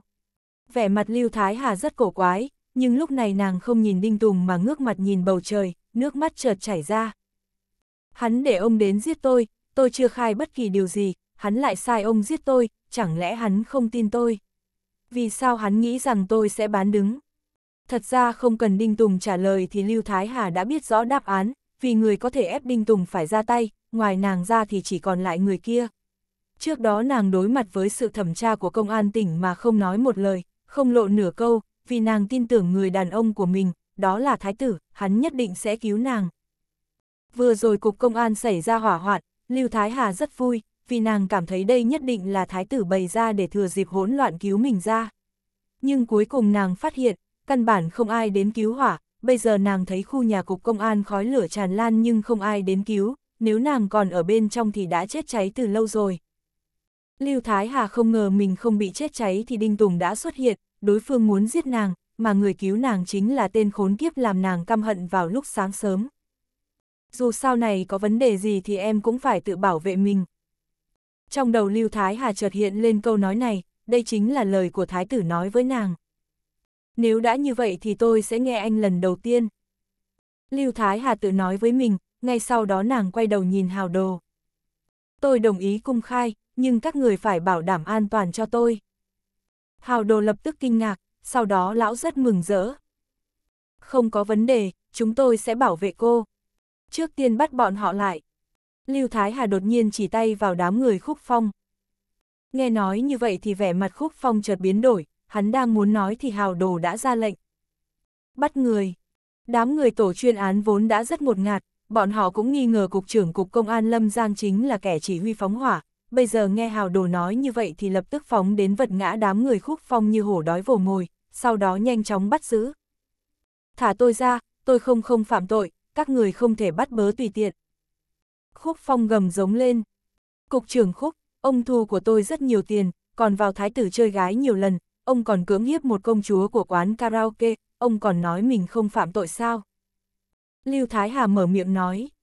Lưu Thái Hà, con chó cái khốn nạn, loại chó cắn càn. Khúc Phong tức giận mắng. Cô sẽ không có kết cục tốt. Cục trưởng Hào, tôi có thể nói rõ tên tất cả cảnh sát trong cục công an bị thái tử khống chế, cũng có thể nói cho ông biết vị trí khu nhà xưởng sản xuất ma túy, thậm chí còn có thể cho các người đi bắt thái tử, nhưng tôi cũng có một điều kiện. Lưu Thái Hà không quan tâm đến Khúc Phong, nàng nói điều kiện với Hào Đồ. Nói đi, cô có điều kiện gì? Hào Đồ hỏi. Trước khi rời khỏi huyện Lâm Giang, tôi muốn anh ta bảo vệ tôi. Lưu Thái Hà nâng hai tay đeo còng chỉ vào Hạ Thiên nói. Hạ Thiên đón lời rất bất mãn. Đầu óc cô có vấn đề rồi sao? Tôi không quen biết cô, hơn nữa cô cũng quá xấu, tôi cũng không muốn bảo vệ cô. Lưu Thái Hà, Hạ Thiên cũng không phải là cảnh sát, anh ta không có nghĩa vụ bảo vệ cho cô, những cảnh sát hình sự tổ chuyên án chúng tôi sẽ có nhiệm vụ bảo vệ an toàn cho cô, vì vậy cô đừng quá lo lắng. Hào Đồ cũng mở miệng. Tôi chẳng cần quan tâm anh ta có phải là cảnh sát hay không, nhưng các ông cũng thấy rồi đấy, ngoài anh ta thì không còn ai bảo đảm được an toàn cho tôi. Bây giờ Lưu Thái Hà vẫn còn sống, nếu so sánh với người ngoài thì nàng hiểu rõ thủ đoạn của Thái Bằng Trình, nếu hôm nay không có Hạ Thiên thì nàng chết chắc. Cục trưởng Hào, anh đồng ý đi. Lãnh băng băng đột nhiên mở miệng nói. Vợ cảnh sát tỷ tỷ, sao chỉ có thể đồng ý với cô ta? Tôi cũng không muốn bảo vệ cô ta. Hạ Thiên bắt đầu phàn nàn. Tôi không muốn cậu bảo vệ cô ta, cậu bảo vệ tôi là được. Lãnh băng băng tức giận nói, sau đó nàng nhìn sang Lưu Thái Hà. Tôi sẽ bảo vệ cho cô, Hạ Thiên bảo vệ tôi, như vậy cũng phù hợp với yêu cầu là cô sẽ không chết, không có vấn đề gì chứ. Không có vấn đề. Lưu Thái Hà rất thỏa mãn với sắp xếp của lãnh băng băng. Đối với Hạ Thiên thì bảo vệ lãnh băng băng là sứ mạng, tất nhiên hắn sẽ không từ chối, nhưng bên cạnh còn có kẻ thứ ba là Lưu Thái Hà, điều này làm hắn khó chịu. Nếu đã không còn vấn đề, như vậy bây giờ cô nên cho chúng tôi biết nhà xưởng ở nơi nào. Hào đồ mở miệng nói. Lưu Thái Hà đang định mở miệng thì một tiếng nổ lớn từ phương xa truyền đến, mặt đất dưới chân cũng rung lên nhẹ nhẹ như có động đất. Đây là vụ nổ ở nơi nào? Vẻ mặt Lưu Thái Hà chợt biến đổi. Có phải từ phía tây không? Đúng vậy, nói chung cách đây 20 km. Hạ Thiên Thuận miệng nói, tai của hắn rất thính, tất nhiên hắn sẽ nghe thấy rất rõ ràng. Nhà xưởng sản xuất ma túy ở nơi đó. Vẻ mặt Lưu Thái Hà có chút ngây ngốc. Mau đưa chúng tôi đi bắt Thái bằng trình. Hào đồ cảm thấy tình huống không đúng thì vội vàng nói. Đáng tiếc, tất cả đều chậm một bước. Khi tổ chuyên án chia làm ba mũi tiến vào chỗ nghi ngờ Thái Bằng Trình đang dừng chân thì chẳng thu hoạch được gì, Thái Bằng Trình đã không còn bóng dáng, nhà xưởng cũng đã được chứng thực là phát nổ. Nhà xưởng trong khe núi nổ tung, tất cả bị chôn vùi dưới đống đất đá, khi nào thì sẽ được đào móc ra, bên trong có bao nhiêu người bị chôn vùi, đây là điều khó thể biết được. Trong thời gian một đêm hào đồ dựa vào lời cung khai của Lưu Thái Hà mà bắt được đám người có liên quan đến Thái Tử Cung và Thái Bằng Trình, tất cả đều rất thuận lợi. Nhưng cảnh sát tìm khắp huyện thành cũng không thấy tung tích của Thái Bằng Trình, có lẽ người này đã bỏ chạy.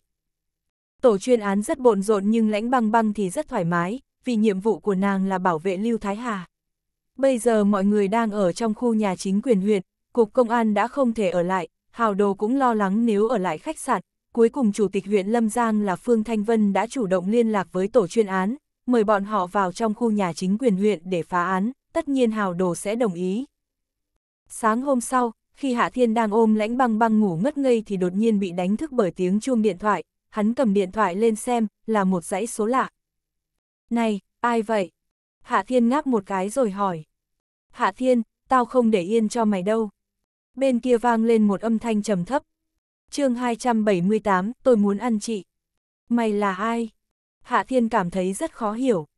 Đầu dây bên kia vang lên những âm thanh tút tút, người kia không nói thêm câu nào mà cúp điện thoại. Thằng ngu nào vậy, đúng là điên loạn. Hạ Thiên lầm bầm, hắn không quan tâm. Ai điện thoại đến vậy? Lãnh băng băng mở miệng hỏi. Không biết, chỉ nói một câu rồi cúp máy. Hạ Thiên Thành thật trả lời. À, lãnh băng băng cũng không tiếp tục truy vấn. Đúng lúc này hào đồ từ bên ngoài đi vào, tuy một đêm không ngủ nhưng tinh thần rất tốt, hơn nữa còn có vẻ rất vui sướng. Tiểu lãnh, cô không cần phải quan tâm Lưu Thái Hà, hôm nay đặc biệt có lời, cô và bạn trai cứ đi nghỉ trước. Hào đồ nói với lãnh băng băng. Cục trưởng, vụ án kết thúc rồi sao? Lãnh băng băng không nhịn được phải hỏi. Tất nhiên không chấm dứt nhanh như vậy, nhưng bây giờ tất cả đều rất thuận lợi, hơn nữa chỉ còn lại những công tác thẩm vấn thông thường, tỉnh thành và Cục Công an thành phố Ninh Thành đều điều người đến hỗ trợ, vì vậy mọi người có thể nghỉ ngơi. Lần này mọi chuyện thuận lợi đều nhờ công của cô, có công thì sẽ có thưởng, vì vậy cô cứ đi nghỉ trước. Hào đồ cười ha hả nói. Cục trưởng Hào, tôi cũng không có công lao gì. Lãnh băng băng nói. Tiểu lãnh, khiêm tốn là tốt, nhưng lần này công lao lớn đều ghi lên đầu cô, nếu không có bạn trai của cô thì chúng ta sao có thu hoạch lớn như vậy. Hào đồ cười nói. Được rồi, cô tranh thủ thời gian đi với bạn trai, tiểu tử này cũng đã ở cùng cô một buổi tối, cô cần tưởng thưởng cho hắn. Đúng vậy, vợ cảnh sát tỷ tỷ, chị phải ban thưởng cho tôi. Hạ Thiên rất tán thành với những lời nói của Hào Đồ. Lãnh băng băng không khỏi chừng mắt nhìn Hạ Thiên, sau đó nàng nói với Hào Đồ. Vậy được rồi, cảm ơn Cục trưởng Hào, chúng tôi đi trước. Lãnh băng băng lúc này cũng coi như hiểu rõ, mình có công lớn nhất nhưng thật ra tất cả đều là của Hạ Thiên. Nhưng hắn không phải là cảnh sát, mỗi người đều cho rằng hắn là bạn trai của nàng, vì vậy công lao cuối cùng được đẩy lên đầu nàng. Để tránh cho Hào Đồ tiếp tục nói bậy bạ, lãnh băng băng cảm thấy nên đưa Hạ Thiên đi trước. Lãnh băng băng và Hạ Thiên ra khỏi phòng, Hạ Thiên mở miệng nói. Vợ cảnh sát tỷ tỷ, chúng ta đi mướn phòng thôi. Tôi đói bụng rồi, đi ăn sáng trước. Lãnh băng băng tức giận nói, lưu manh này muốn mướn phòng, cả ngày không có suy nghĩ gì tốt. À, vậy thì chúng ta đi dùng cơm trước, sau đó thuê phòng sau. Hạ Thiên thuận miệng nói. Trên hành lang liên tục có người tới lui, khi nghe thấy Hạ Thiên nói như vậy thì cũng không khỏi quay đầu nhìn hắn và lãnh băng băng, ai cũng nở nụ cười cực kỳ cổ quái và mập mờ. Điều này làm cho lãnh băng băng thiếu chút nữa phải kiếm một lỗ hổng nào đó để chui vào, lưu manh chết tiệt, không biết nói đúng chỗ sao. Chưa nói đến vấn đề đây là nơi đông người, thậm chí giọng điệu của Hạ Thiên còn rất lớn giống như sợ người ta không nghe được. Lãnh băng băng không thể không hoài nghi, lưu manh này rõ ràng đang cố ý. Audio điện tử võ tấn bền. Lãnh băng băng kéo Hạ Thiên đi như chạy khỏi khu chính quyền huyện Lâm Giang, may mà đối diện khu chính quyền có một nhà hàng, vì vậy nàng kéo hắn vào. Cho một tô mì bò. Lãnh băng băng ngồi xuống, nàng tự gọi món cho mình, sau đó hỏi Hạ Thiên. Cậu muốn ăn gì? Cảnh sát tỷ tỷ, tôi cũng không biết nên ăn gì. Hạ Thiên có chút khó khăn. Cậu thích gì cứ gọi. Lãnh băng băng tức giận nói. Hạ Thiên nhìn chằm chằm vào lãnh băng băng. Muốn ăn gì cũng gọi được sao? Nói nhảm. Lãnh băng băng thấy đầu óc lưu manh rõ ràng có vấn đề, chỉ là một bữa sáng mà thôi, có cần phải lắm lời như vậy không? Hạ Thiên rất vui sướng. Vợ cảnh sát tỷ tỷ, tôi muốn ăn chị. Đầu tiên lãnh băng băng có chút sướng sờ, sau đó gương mặt chợt đỏ bừng, trong lòng rất tức giận. Lưu manh chết tiệt, lúc này còn nghĩ đến vấn đề đó. Tôi mặc kệ cậu, cậu có muốn ăn sáng không? Lãnh băng băng trợn mắt nhìn Hạ Thiên. Cảnh sát tỷ tỷ, chị không quan tâm đến tôi, sao tôi có thể ăn chị? Hạ Thiên nghĩ mãi mà không hiểu. Lãnh băng băng lập tức chán nản, nàng quay đầu hô lớn. Ông chủ, cho tôi một lồng bánh bao hấp. Đến ngay. Bánh bao hấp được đưa đến rất nhanh. Lãnh băng băng cầm đũa gắp một cái bánh bao nhét vào miệng Hạ Thiên. Tôi dùng bánh bao chặn hỏng cậu lại. Hạ Thiên nuốt cả cái bánh vào bụng, sau đó hắn bắt đầu kháng nghị. Vợ cảnh sát tỷ tỷ, tôi muốn ăn chị, không muốn ăn bánh bao của chị. Lãnh băng băng mặc kệ Hạ Thiên kêu gào, nàng tiếp tục nhét bánh bao vào miệng Hạ Thiên. Đúng là tình cảm đầm thắm. Đám khách trong nhà hàng thấy như vậy thì thầm thở dài một hơi. Nhưng lãnh băng băng nghe thấy như vậy thì chợt buồn bực, ai tình cảm đầm thắm với tên khốn này. Nàng chẳng qua chỉ muốn chặn hỏng Hạ Thiên, miễn cho hắn nói bậy bạ. Hạ Thiên nghe nói như vậy thì rất vui sướng, cảnh sát tỷ tỷ quả nhiên rất tốt với mình, ngay cả người không biết gì cũng thấy được tình cảnh đầm thắm. Lãnh băng băng bắt Hạ Thiên nuốt 5 cái bánh bao, cuối cùng vì muốn hắn không tiếp tục nói bậy, nàng vừa ăn sáng vừa gắp bánh bao cho đối phương. Sau khi ăn xong tô mì bò thì nàng nhanh chóng trả tiền và bỏ đi. Lãnh băng băng đi quá nhanh, kết quả là ra cửa không chú ý có người đi vào, vì vậy đụng nhẹ vào đối phương. Lãnh băng băng chưa kịp nhìn thấy bộ dạng của đối phương, nàng định xin lỗi, nhưng còn chưa kịp mở miệng thì đối phương đã mắng. Không có mắt sao, đi như vậy à? Thật xin lỗi. Lãnh băng băng có chút mất hứng nhưng vẫn nói lời xin lỗi, dù thế nào thì nàng cũng có lỗi. Lúc này lãnh băng băng cũng nhìn rõ, người bị mình đụng vào là một phụ nữ. Người này hơn 30, ăn mặc vượt mức quy định, bộ dạng cũng tăng trọng, căn bản không phù hợp với mỹ quan của con người vào thời điểm hiện tại. Mà người phụ nữ kia cũng nhìn rõ bộ dạng của lãnh băng băng, trong ánh mắt đã lóe lên cái nhìn ghen ghét, trong huyện thành này từ khi nào xuất hiện một người phụ nữ xinh đẹp như vậy. Hơn nữa còn là cảnh sát sao? Xin lỗi mà có tác dụng sao? Người thế này mà làm cảnh sát à? Không có mắt mà đi làm cảnh sát. Người phụ nữ kia được thế thì không tha người, vì vậy mở miệng mắng lớn. Chẳng phải chỉ đụng vào người thôi sao? Tôi đã xin lỗi, cô còn muốn gì? Lãnh băng băng có chút căm tức, có cần phải ép người quá đáng như vậy không? Ơ kìa, đụng vào người ta mà còn to mồm như vậy sao? Giọng điệu của người phụ nữ kia ngày càng chua ngoa. Đừng tưởng có bộ dạng xinh đẹp thì tùy tiện làm bậy, nếu cô làm tôi bị thương thì sao? Cô bị mù thì đừng ra đường, nếu muốn chạy loạn thì mua kính mà đeo vào. Cô mới bị mù. Giọng nói bất mãn của Hạ Thiên vang lên. Nếu cô còn tiếp tục nói vợ tôi mù, tôi sẽ cho cô mù thật sự. Thôi bỏ đi, chúng ta đi thôi. Lãnh băng băng sự Hạ Thiên thật sự làm cho người phụ nữ kia bị mù, vì vậy nàng kéo hắn rời khỏi nhà hàng. Muốn đi sao, dễ dàng vậy à? Đáng tiếc là người phụ nữ kia không cảm thấy nguy hiểm. Cô vừa đụng vào người tôi, bây giờ phải đưa tôi đi bệnh viện kiểm tra, nếu không các người đi, sau này có di chứng thì tôi tìm ai? Cảnh sát tỷ tỷ, người này thật sự muốn vào bệnh viện sao? Hạ Thiên nhìn lãnh băng băng, hắn dùng giọng kỳ quái hỏi. Có tám phần là như vậy. Lãnh băng băng cũng tức giận, người này rõ ràng không biết nói lý lẽ, chẳng qua chỉ khẽ đụng vào người, cũng đừng nên quá đáng như vậy chứ. Lãnh băng băng tất nhiên không biết người phụ nữ kia đang ghen ghét mình quá đẹp, vì vậy mới cố ý gây phiền.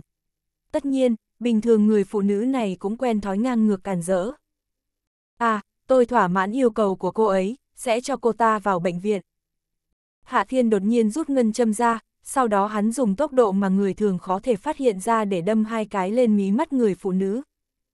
Sau khi thu hồi ngân châm thì Hạ Thiên ôm eo lãnh băng băng bước đi. Vợ cảnh sát tỷ tỷ, chúng ta đi thuê phòng thôi. Các người, á, mắt của tôi, mắt tôi sao lại không thấy gì thế này. Sau lưng vang lên âm thanh hoảng sợ của người phụ nữ. Cậu sẽ không làm cho cô ấy mù thật đấy chứ. Sau khi nghe được tiếng thét hoảng sợ thì lãnh băng băng không nhịn được phải hỏi. Đúng vậy, ai bảo người này không ra gì. Hạ Thiên khẽ gật đầu. Dám nói vợ tôi mù mắt, tôi sẽ làm cho đối phương không thấy đường. Người phụ nữ kia dù có chút đáng ghét, nhưng cậu cũng không cần làm quá như vậy. Lãnh băng băng khẽ khuyên nhủ. À, vợ cảnh sát tỷ tỷ, tôi biết chị rất tốt, vì vậy chỉ cho cô ấy bị mù một ngày mà thôi, ngày mai sẽ khỏi. Hạ Thiên giải thích, lãnh băng băng nghe Hạ Thiên giải thích như vậy cũng không còn gì để nói, cho đối phương chịu khổ một chút, nàng cũng đồng tình. Ơ, lãnh băng băng ngáp dài, một buổi tối hầu như không được ngủ, nàng quả thật có chút mệt nhọc. Trước đó vì đói bụng mà không cảm thấy đói, bây giờ vừa ăn no xong, kết quả là cơn buồn ngủ kéo đến như thủy triều. Vợ cảnh sát tỷ tỷ, phía trước có khách sạn, chúng ta đi mướn phòng thôi. Hạ thiên nhân cơ hội đầu độc lãnh băng băng. Được rồi. Lãnh băng băng tuy cảm thấy Hạ thiên không có ý gì tốt, nhưng vì nàng quá mệt mỏi, cũng không biết nói gì thêm, dù sao bọn họ cung không phải mới mướn phòng lần đầu. Hai người vào khách sạn, thuê một gian phòng cho tình nhân, giao tiền thế chấp, dùng chứng minh đăng ký, sau đó cầm thẻ lên lầu. Sau khi tiến vào phòng thì lãnh băng băng không nhịn được phải phóng lên giường.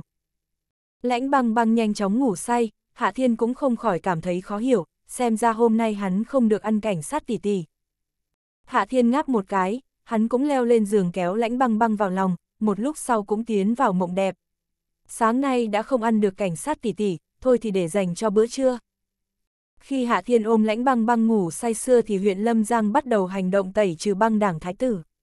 Tuy nhìn bề ngoài thì hành động lần này có cục công an tỉnh tiến hành, người khởi xướng là hào đồ, nhưng đám người hào đồ biết rất rõ, nhân vật chính thức làm cho mọi chuyện phát triển thuận lợi chính là thiếu niên Hạ Thiên Thần Kỳ chương 279, nghiên cứu thân thể của cô.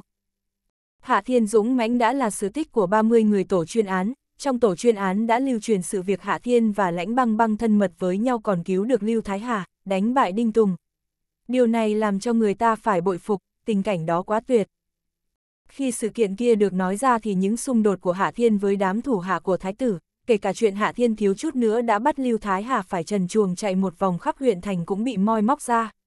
Lúc này mọi người chợt phát hiện Hạ Thiên đã có thủ oán với Thái tử, vì vậy những kẻ khôn khéo đã liên hệ sự sụp đổ của Thái tử, có phải cũng liên quan đến Hạ Thiên.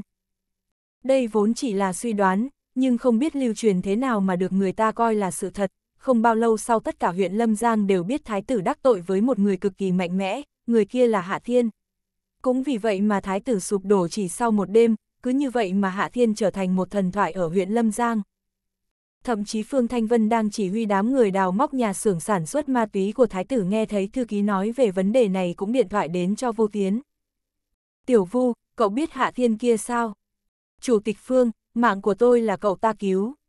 Vu Tiến trả lời, thật ra bây giờ hắn cũng biết những tin đồn kia đang truyền đi khắp nơi, nhưng hắn thấy những tin đồn dù có chút khoa trương nhưng cũng không thái quá. Nếu xem xét một cách nghiêm khắc thì thái tử thật sự suy sụp vì Hạ Thiên, nhưng người này cũng không phải cố sức cho thái tử sụp đổ, chẳng qua chỉ vô tình chọc vào, thái tử lại tan đàn sẻ nghé.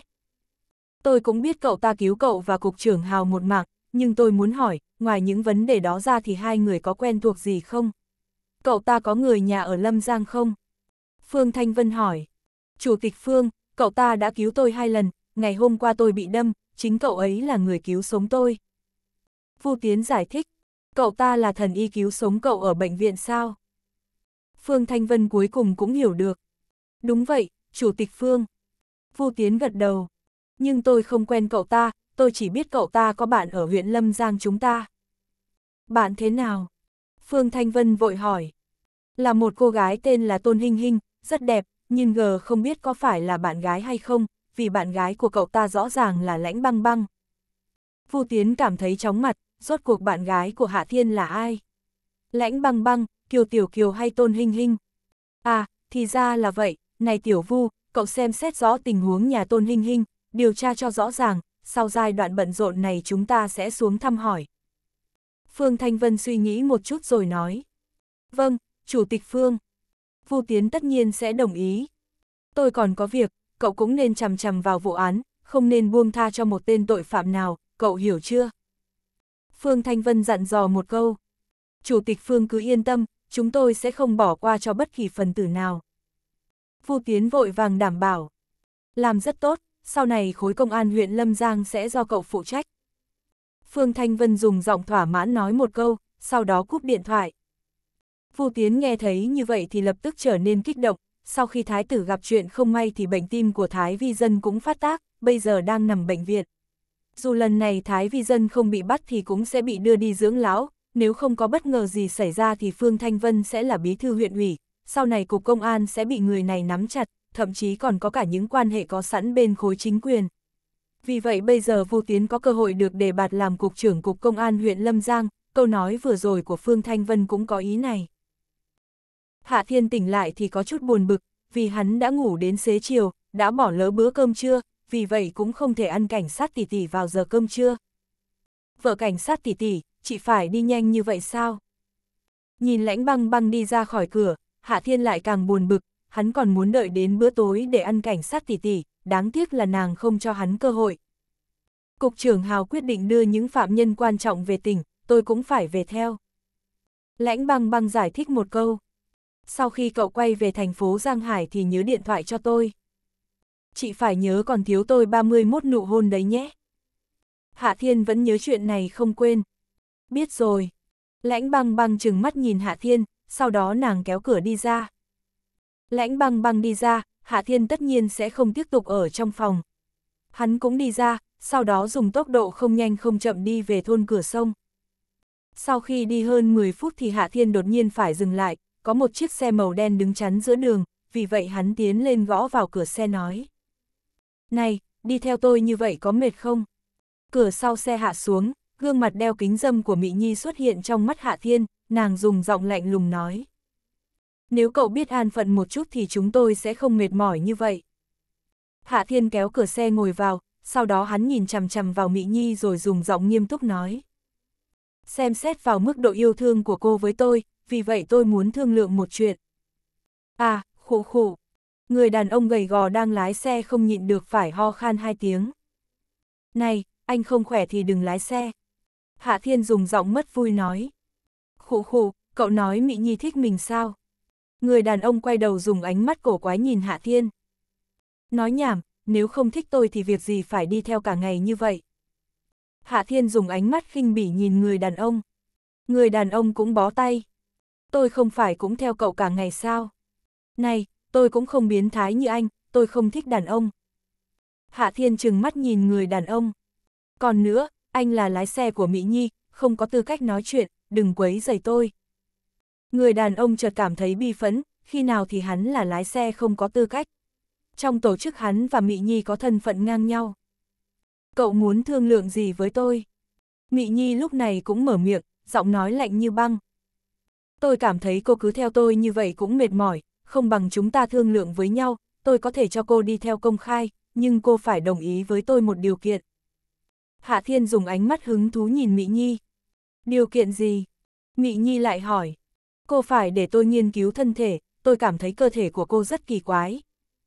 Hạ Thiên dùng giọng chân thành nói. Người đàn ông gầy gò không khỏi nhìn Hạ Thiên, người này đúng là quá mức hung hãn, bây giờ lại muốn nghiên cứu cơ thể của Mỹ Nhi. Đàn ông muốn nghiên cứu cơ thể phụ nữ, điều này không cần nói cũng hiểu. Có tin tôi giết cậu không? Trên người Mỹ Nhi bùng ra khí lạnh. Sao cô phải giết tôi? Hạ Thiên tỏ ra rất khó hiểu. Tôi chẳng qua cũng vì tốt cho cô, tôi cảm thấy thân thể cô rất đặc biệt, rõ ràng là cực âm mà có khí dương. Cực âm là trời sinh, nhưng khí dương chắc chắn có sau này, tôi hỏi cô, trước kia gương mặt cô cũng bình thường, sau này mới trở nên như vậy có phải không? Giọng điệu của Mỹ Nhi chợt biến đổi. Sao cậu biết? Tôi là thiên hạ đệ nhất thần y. Hạ thiên có chút đắc ý. Tôi không gì không biết, thế nào, cô có đồng ý điều kiện của tôi, để tôi nghiên cứu cơ thể, tôi có thể làm cho gương mặt của cô trở lại như thường. Đến lúc đó cô sẽ rất đẹp, sẽ có tư cách làm vợ tôi. Thứ nhất, tôi không thích cậu, thứ hai, tôi thích mình như bây giờ, thứ ba, tôi càng không thích làm vợ cậu. Mị Nhi cũng không có hành động nào, giọng nói rất lạnh lùng. Vì vậy bây giờ cậu có thể xuống xe được rồi. Phụ nữ đúng là thích nghĩ một đường nói một nẻo. Hạ Thiên lầm bầm. Được rồi, tôi xuống xe, đợi đến khi cô thay đổi ý kiến, lúc đó có thể đến tìm tôi. Hạ Thiên xuống xe, hắn tiếp tục dùng giọng không nhanh không chậm đi về phía trước. Mị Nhi, sao cô không thử xem, cậu ta sợ rằng có thể chữa cho cô. Người đàn ông gầy còm nói. Tôi không cần dùng gương mặt để thu hút đàn ông. Mị Nhi lạnh lùng nói. Được rồi, coi như tôi chưa nói gì. Người đàn ông gầy gò có chút bất đắc dĩ. Mị Nhi cũng không nói thêm điều gì, nàng nhìn qua cửa sổ, Hạ Thiên đang đi trên đường, trong mắt lóe lên cái nhìn khác thường. Tôn Hinh Hinh đứng trước cửa, nàng lấy điện thoại ra cầm, sau khi nhấn vài lượt thì lại đặt vào túi. Sau đó nàng lại lấy điện thoại ra, sau vài lần liên tục thì Mộc Hàm ở bên cạnh đã không nhịn được. Cô muốn điện thoại cho hắn thì cứ tự nhiên, sao phải do dự như vậy? Mộc Hàm mở miệng hỏi. Sao chị không gọi điện? Tôn Hinh Hinh hỏi ngược lại. Mộc Hàm mỉm cười. Vì tôi không muốn tìm cậu ta như vậy. Tôi cũng không phải đang nghĩ về hắn, tôi chỉ chỉ có chút lo lắng. Tôn Hinh Hinh đỏ mặt dùng giọng ấp úng nói.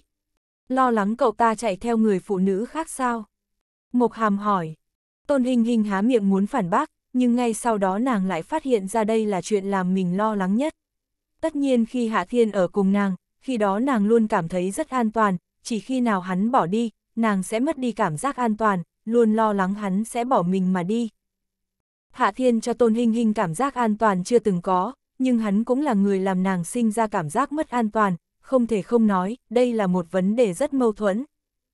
Thật ra tôi cảm thấy cô không cần lo lắng như vậy, trong mắt của tôi, dù cậu ta có mang người phụ nữ khác bỏ chạy, cũng sẽ mang theo cô. Mộc Hàm thản nhiên nói, chị không lo lắng sao? Tôn Hình Hình nhịn không được phải hỏi. Tất nhiên, tôi không lo lắng. Mộc Hàm thật sự không có gì cần lo lắng, Lưu Manh chỉ biết cưỡng chế giữ nàng lại, nhưng nàng đi thì biết về đâu. Tôi cảm thấy, cảm thấy câu ấy rất yêu lãnh băng băng. Tôn Hình Hình khẽ nói, tối qua Hạ Thiên nói đi là đi, bây giờ còn chưa quay về, nàng cũng không biết tối nay hắn có quay về hay không. Cậu ấy đã về. Mộc Hàm thản nhiên nói. Tôn Hinh Hinh nghe như vậy thì vội vàng nhìn ra đường, nàng thấy Hạ Thiên đang dùng giọng không nhanh không chậm đi về phía bên này, vì vậy mà những lo lắng trong lòng biến mất sạch sẽ, nàng nhanh chóng chạy về phía Hạ Thiên. chương 280, đập đầu vào tường.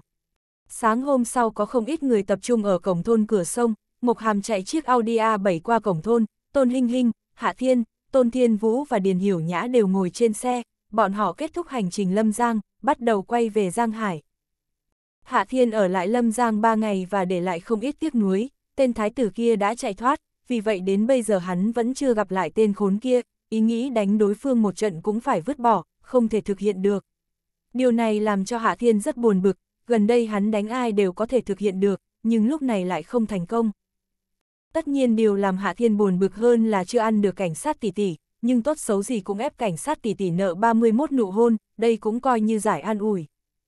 Tâm tình của Tôn Hinh Hinh khá tốt, lần này nàng về nhà cũng coi như là áo gấm về làng, bây giờ ánh mắt người trong thôn nhìn Tôn ra đã khác biệt, nàng cũng để lại ít tiền trong nhà. Tất nhiên điều làm nàng cảm thấy vui mừng nhất chính là tin tức nhận được vào buổi sáng, Trương Đại Trụ vì buôn thuốc phiện mà bị bắt, lần này hắn có hơn phân nửa là sẽ lãnh án tử hình, điều này cũng có ý nghĩa là thời gian về sau nàng sẽ không bị hắn quấy rối. Tôn Hình Hình cũng muốn ở lại nhà thêm vài ngày nhưng sáng sớm Hạ Thiên lại nhận được điện thoại của Liễu Vân Mạn, nàng nói đầu rất đau. Hạ Thiên lập tức nghĩ ra nguyên nhân, lần trước hắn châm cứu cho Liễu Vân Mạn cách bây giờ đã là một tháng, mà khi đó châm cứu cũng chỉ có tác dụng giảm bớt bệnh tình của nàng, một tháng sau phải châm cứu lại. Vì chữa bệnh cho Liễu Vân Mạn mà Hạ Thiên bắt buộc phải quay về ngay lập tức, Tôn Hinh Hinh cũng không muốn ở lại một mình, vì vậy theo Hạ Thiên quay về. Đường đi rất thuận lợi, đến trưa nhóm người Hạ Thiên đã quay về thành phố Giang Hải. Trước tiên Hạ Thiên đưa Tôn Hinh Hinh đến cửa hàng hoa, sau đó hắn cùng Mộc Hàm trực tiếp chạy đến bệnh viện Liễu Vân Mạn đang công tác, sau đó đưa nàng về Kiều Gia. Hạ Thiên đã có thể thi triển được đệ tam châm, tất nhiên hắn có thể chữa đứt bệnh cho Liễu Vân Mạn. Nhưng sử dụng đệ tam châm rất nguy hiểm, mấy ngày trước thiếu chút nữa hắn đã bị Lý Minh Hiên đánh gục, hắn cũng không muốn dẫm lên vết xe đổ, vì vậy mới quyết định chữa trị cho Liễu Vân Mạn ở Kiều Gia. Kiều Gia có phương pháp rất tốt để tự bảo vệ bản thân, quan trọng là bây giờ ở Kiều Gia có Liễu Mộng, đối với Hạ Thiên thì Liễu Mộng giống như một đảm bảo tốt nhất. Hạ Thiên đi vào biệt thự của Kiều Tiểu Kiều, Liễu Mộng thấy hắn thì phàn nàn. Tiểu bại hoại, mấy ngày nay cậu chạy đi đâu? Sao không mang chị đi? Không đợi Hạ Thiên trả lời, Liễu Mộng nhìn thấy Liễu Vân Mạn, nàng có chút mất hứng. Tiểu Mạn, cháu cũng không nghĩa khí, cháu cùng chơi đùa với tiểu bại hoại, sao không nói cho cô biết. Cô là cô cô của cháu mà. Liễu Vân Mạn có chút giờ khóc giờ cười, nàng nếu thật sự ở cùng với Hạ Thiên thì sẽ càng không gọi cho cô cô. Cô cô, cháu cũng vừa gặp Hạ Thiên mà thôi. Liễu Vân Mạn chỉ phải giải thích. Được rồi, sau này có chuyện vui nhớ gọi cô là được. Liễu Mộng chỉ quan tâm đến những chuyện vui, những thứ khác nàng bỏ qua ngay. Cô cô, cháu biết rồi. Liễu Vân Mạn xoa xoa đầu, lúc này đầu nàng rất đau. Chị Mộng, tôi muốn chữa bệnh cho chị Vân Mạn, chị đến giúp tôi. Hạ Thiên cuối cùng cũng mở miệng, sau đó hắn kéo Liễu Mộng và Liễu Vân Mạn lên lầu, đi vào phòng ngủ của Liễu Mộng. Hỗ trợ giống như lần trước cứu ông lão kia sao? Liễu Mộng có chút tò mò. Không phải, chị chỉ cần ở bên cạnh xem xét là được, đừng cho người khác quấy rầy tôi. Hạ Thiên trả lời. Liễu Mộng có chút mất hứng. Thì ra cậu bảo chị làm hộ vệ. Tuy Liễu Mộng cảm thấy không thú vị nhưng cuối cùng cũng phải đảm nhận trách nhiệm, nhưng khi Hạ Thiên thi châm cho Liễu Vân Mạn thì nàng liên tục ngáp ngắn ngáp dài. Đúng là quá nhàm chán, xem ra luyện võ vẫn thú vị hơn, lát nữa nàng nên tìm Phượng Nhi và Hoàng Nhi luyện võ mới được. Cũng may thời gian cũng không dài, mất nửa giờ thì Hạ Thiên đã thi châm xong, Liễu Vân Mạn cũng ngồi dậy trên giường có vẻ rất sảng khoái tinh thần. Lúc này Hạ Thiên có chút mệt mỏi, mỗi lần sử dụng đệ tam châm đều có kết quả này, nhưng hôm nay lại khác, vì có Liễu Mộng ở bên cạnh. Hạ Thiên cũng không quan tâm có Liễu Vân Mạn ở bên cạnh, hắn ôm lấy Liễu Mộng. Chị Mộng, chúng ta xong tu thôi. Chị còn chưa ăn cơm, ư. Liễu Mộng kháng nghị, nhưng nàng còn chưa nói dứt lời thì đã bị Hạ Thiên chặn lại. Liễu Vân Mạn vội vàng rời khỏi phòng, trước khi rời khỏi cửa nàng còn thấy Hạ Thiên đè Liễu Mộng xuống giường, vì vậy mà gương mặt không khỏi nóng lên. Khoảnh khắc này nàng đã hiểu, cô cô đã bị Hạ Thiên đè lên giường từ lâu rồi. Mãi đến tôi thì Hạ Thiên mới rời giường dùng cơm, còn Liễu Mộng thì thức dậy sớm hơn, đến giữa trưa nàng đã cảm thấy đói bụng, hơn nữa khi thức ăn được dọn ra thì nàng cũng nghe được mùi thơm, vì vậy mà vội vàng thức dậy. Sau đó nàng đi xuống dùng cơm, bộ dạng như sói như hổ.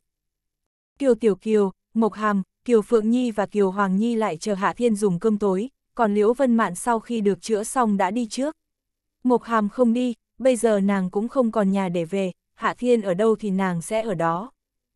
Hạ Thiên ngồi xuống bên cạnh Kiều Tiểu Kiều, sau đó hắn nhìn Kiều Phượng Nhi và Kiều Hoàng Nhi ở phía đối diện, hắn lập tức buồn bực. Các người sao lại giống hệt như Mị Nhi vậy? Sao lại giống Mị Nhi? Kiều Phượng Nhi không hiểu. Mị Nhi là ai? Kiều Hoàng Nhi cũng đặt câu hỏi. Mị Nhi chính là một người phụ nữ thích đeo kính dâm cả khi trời tối, cũng giống như các người vào lúc này. Hạ Thiên chỉ vào mặt hai nàng, rõ ràng rất đúng, hai người này đều đeo một chiếc kính dâm rất lớn, hầu như che hết nửa gương mặt. Đây không phải tại anh sao? Kiều Phượng Nhi tức giận nói. Hạ Thiên rất vô tội. Đây có liên quan đến tôi. Các người dù không đeo kính dâm, tôi cũng không lấy làm vợ, tôi đã biết rõ bộ dạng của các người, dù có đeo hay không cũng vậy mà thôi. Hi hi, tiểu bại hoại, chị biết vì sao bọn họ lại đeo kính. Liễu mộng vừa văn vừa chen lời. Sao vậy? Hạ Thiên cũng không nghĩ ra nguyên nhân. Đây anh xem. Kiều Phượng Nhi thở phì phò rồi lấy kính xuống. Hạ Thiên chợt ngẩn ngơ, mặt mũi Kiều Phượng Nhi lúc này bầm dập, rõ ràng bị người đánh, hèn gì phải đeo kính dâm.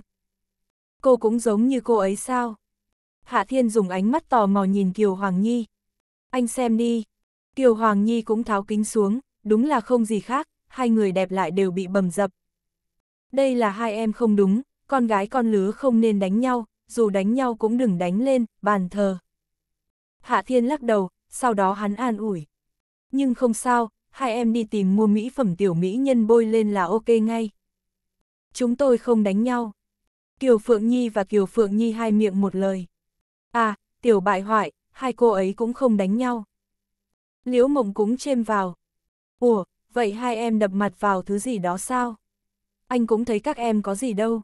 Dù muốn tự sát thì cũng không nên như vậy, anh có thể cho các em uống thuốc, đến chết cũng không đau đớn.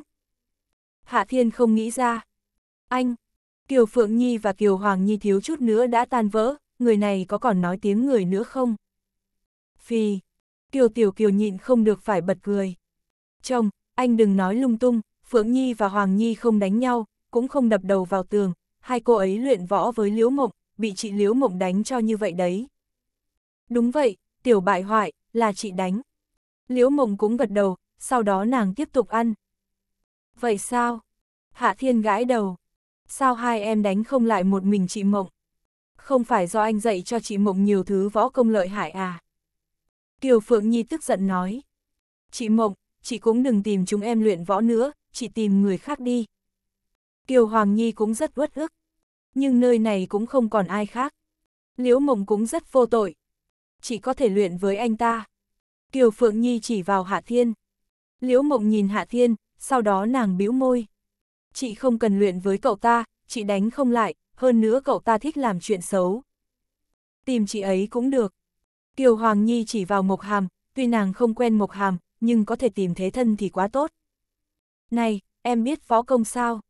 Liễu Mộng nhìn Mộc Hàm. Biết một chút. Mộc Hàm khẽ gật đầu. Vậy luyện công với chị được không? Liễu Mộng hỏi.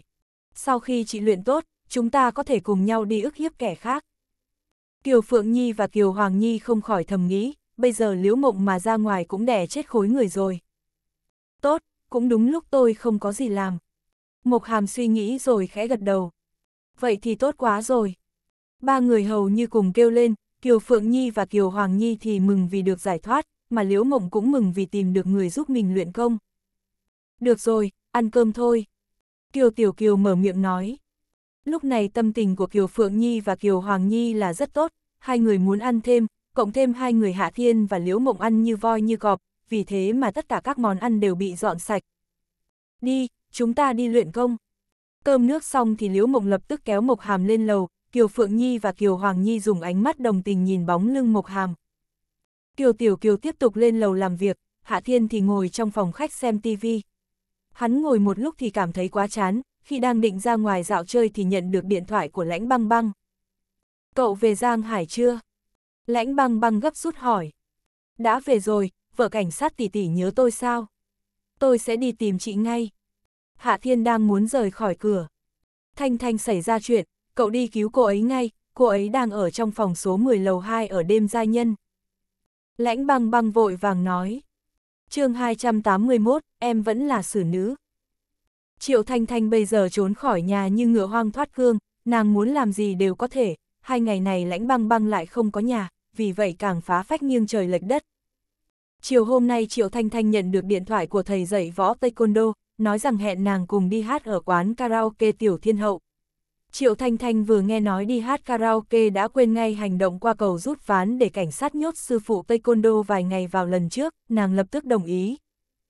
Khi Triệu Thanh Thanh vào đến phòng số 10 lầu 2 ở đêm gia nhân thì phát hiện 5 người bên trong đều là những kẻ bị Hạ Thiên đánh văng, sau đó còn bị nàng vụ oan vào phải vào đồn cảnh sát, nhưng nàng vẫn không cảm thấy có gì không đúng.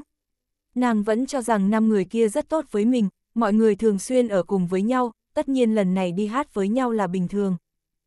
Sau khi uống rượu thì Triệu Thanh Thanh tự nhận là ngàn ly không say lập tức cảm thấy có vấn đề, nhà đầu này tuy thần kinh không ổn định nhưng vừa may không phải ngu ngốc, nàng giả vờ như không có chuyện gì và đi vào toilet.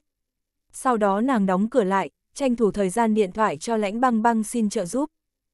Sau khi điện thoại xong thì Triệu Thanh Thanh liên tục dùng nước lạnh rửa mặt, cố gắng làm cho mình trở nên thanh tỉnh. Nhưng ý thức của nàng ngày càng mơ hồ, thân thể cũng bắt đầu mềm nhũn không còn chút sức lực, thậm chí cũng không còn sức để vốc nước rửa mặt. Triệu Thanh Thanh, em làm gì bên trong vậy? Bên ngoài truyền đến tiếng gọi của thầy Sáu, rõ ràng Triệu Thanh Thanh đã lâu không ra và hắn đã sinh nghi.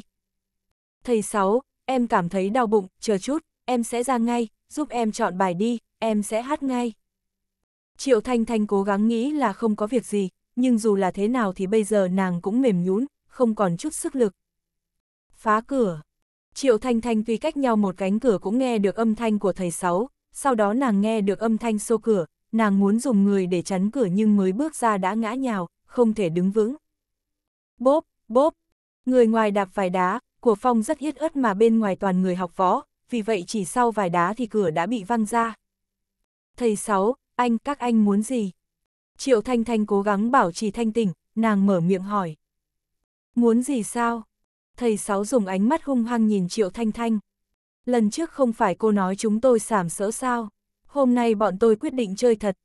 Thầy Sáu, ngày đó, ngày đó chỉ là đùa cho vui thôi, đừng, đừng nghĩ là thật.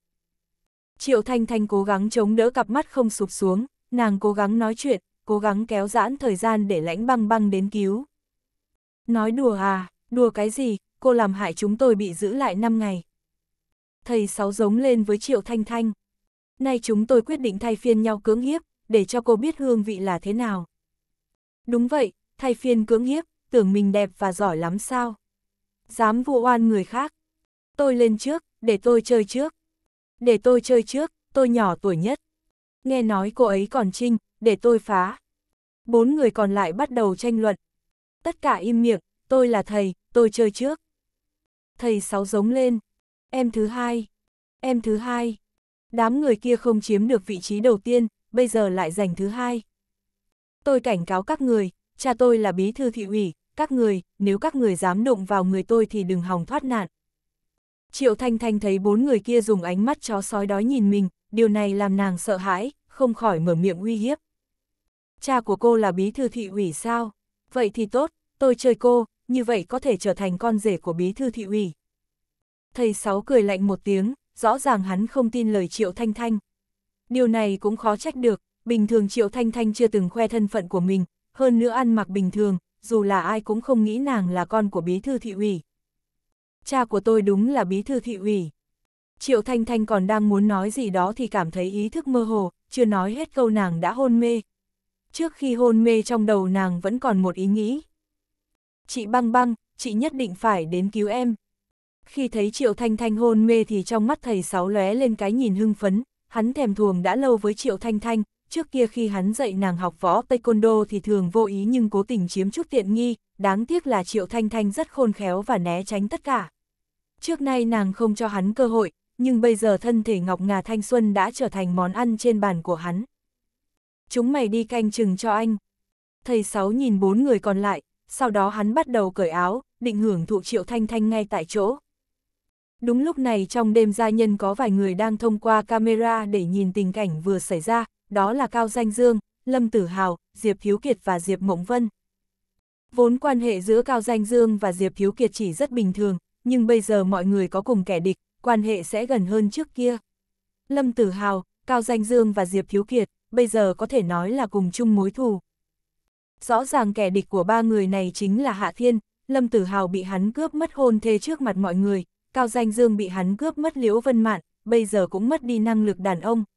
Còn Diệp Thiếu Kiệt, dù không bị Hạ Thiên cướp đi nữ nhân, chưa nói đến vấn đề hắn bị Hạ Thiên đánh cho một trận thảm bại, nhưng cũng vì Hạ Thiên xuất hiện mà Diệp Mộng Oánh thành chúa tể Diệp ra, bây giờ hắn không còn tiền để tán gái, cũng có thể nói là gián tiếp bị cướp mất đàn bà.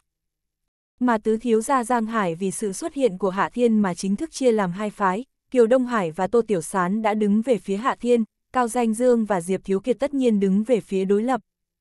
Tử hào, thật sự mặc kệ sao? Cao Danh Dương nói, bây giờ nhìn lên màn hình sẽ thấy Triệu Thanh Thanh đang hôn mê, thầy Sáu đang cởi quần áo, nếu thật sự không quan tâm thì sẽ chẳng kịp. Lâm Tử Hào không nói gì, giống như đang còn suy nghĩ. Tử Hào, dù sao cô ta cũng là người triệu gia, nơi này là của em, nếu cô ấy gặp chuyện không may, chị sợ triệu gia sẽ đổ tội lên đầu em. Cao Danh Dương còn nói, cũng vì cô ta là người triệu gia, tôi mới không quan tâm. Lâm Tử Hào chậm rãi nói, Triệu Thanh Thanh bây giờ đang bỏ nhà đi, mấy ngày nay nàng luôn ở trong nhà lãnh băng băng, nếu cô ta xảy ra chuyện, cậu cảm thấy ai là người chịu trách nhiệm đầu tiên? Anh nói là lãnh băng băng sao? Cao Danh Dương lập tức hiểu ra. Đúng vậy. Trong mắt Lâm Tử Hào là vẻ đắc ý.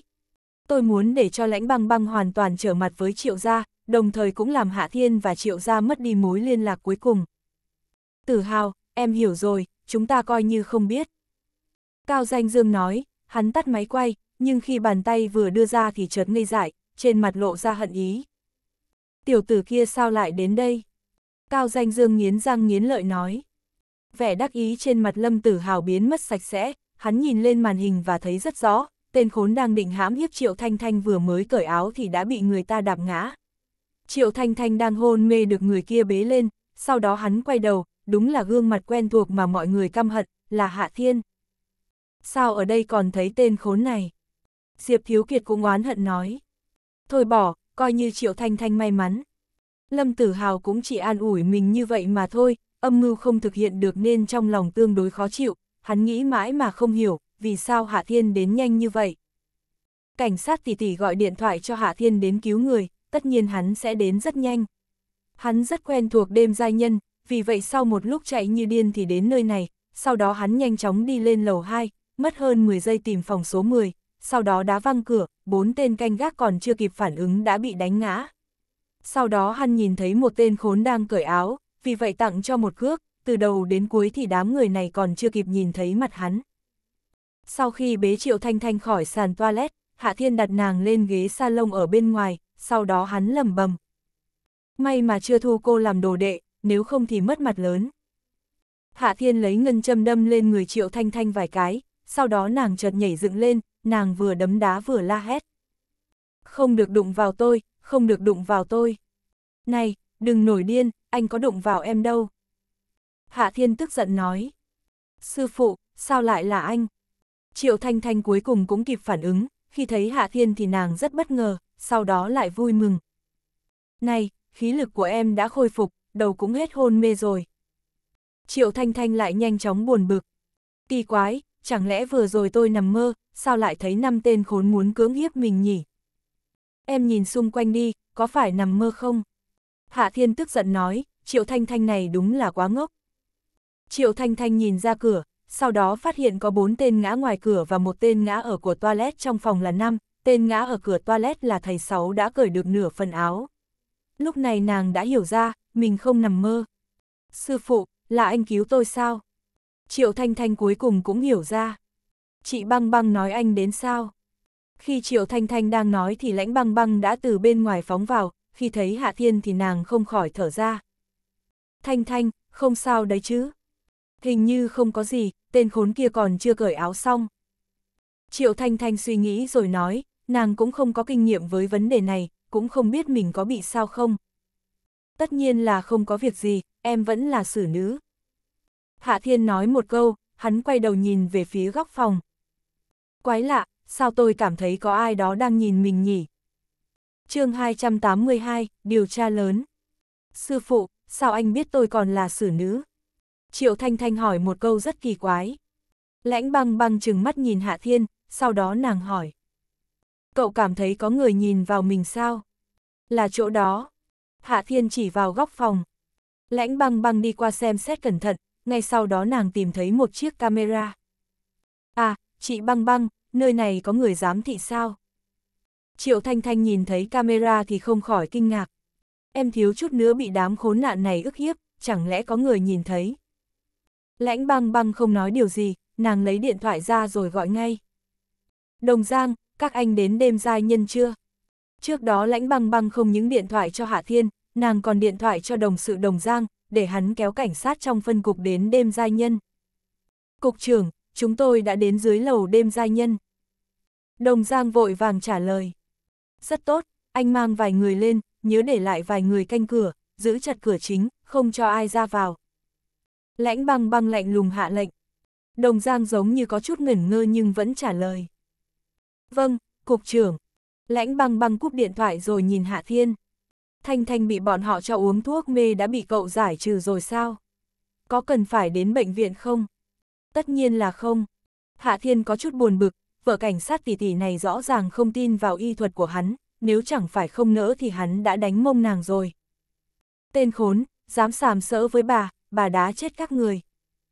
Triệu Thanh Thanh lúc này bắt đầu tay đấm chân đá, bắt đầu điên cuồng đánh đấm năm người nằm trên mặt đất, năm tên đáng thương trước đó bị Hạ Thiên đánh ngất, bây giờ lại bị Triệu Thanh Thanh đá tỉnh. Đồng Giang mang theo vài cảnh sát tiến vào, lãnh băng băng vung tay lên. Đưa đám người này đi, cũng mang theo ly uống bia, coi như chứng cứ. Vâng, Cục trưởng. Đồng Giang lên tiếng, ngay sau đó năm tên đáng thương được đám cảnh sát cứu khỏi chân của Triệu Thanh Thanh. Lần này đám người không phải chỉ bị giam 5 ngày rồi thả ra, sợ rằng phải ở trong nhà lao 5 năm. Khi Đồng Giang đi ra thì lãnh băng băng tiếp tục điện thoại điều binh khiển tướng. Kéo tất cả người trong phân cục đến đây, nói lãnh băng băng tôi ra lệnh, ai có ý kiến cứ đến tìm. 3 phút sau tất cả cảnh sát phân cục quận Đông đều được điều động, 10 phút sau tất cả mọi người đã chạy đến đêm giai nhân, một nhóm cảnh sát ngăn cản hai cửa trước sau, đám cảnh sát còn lại bắt đầu kiểm tra tất cả gian phòng trong đêm giai nhân. Cảnh sát lãnh, cảnh sát lãnh, chị đây là... Ông chủ trung lực trên danh nghĩa của đêm giai nhân cuối cùng cũng xuất hiện, vẻ mặt cực kỳ sợ hãi. Bắt hắn lại. Lãnh băng băng không cho đối phương cơ hội nói chuyện, nàng vung tay lên, hai cảnh sát nhào đến bắt trung lực. Sao lại bắt tôi, cảnh sát lãnh, chỉ bắt người dù sao cũng có lý do chứ. Trung lực lớn tiếng nói. Muốn lý do sao, đợi đến cục cảnh sát rồi nói sau. Lãnh băng băng quát lên. Đưa đi. Hai cảnh sát bắt trung lực ra ngoài. Lúc này đêm giai nhân đã rối loạn, cảnh sát kiểm tra từng phòng, tất nhiên đám nam nữ đang giải trí ở đây đều chạy ra ngoài. Một lúc sau trên hành lang đã tập trung cả trăm người, một số người đang kêu la, bộ dạng rất căm phẫn. Mở ra, tôi muốn ra ngoài. Cổng đêm giai nhân chợt có người lớn tiếng nói. Các người là phân cục nào? Có phải là phân cục quận Đông không? Tôi có quen biết với cục trưởng phương của các người, mau tránh ra. Thật xin lỗi, cục trưởng lãnh đã ra lệnh, không cho bất kỳ người nào được phép bỏ đi. Viên cảnh sát vẫn không cho người ra, trong phân cục của bọn họ có một vị cục trưởng phương, nhưng ai cũng biết vị cục trưởng lãnh vừa điều đến mới có hậu trường cứng nhất.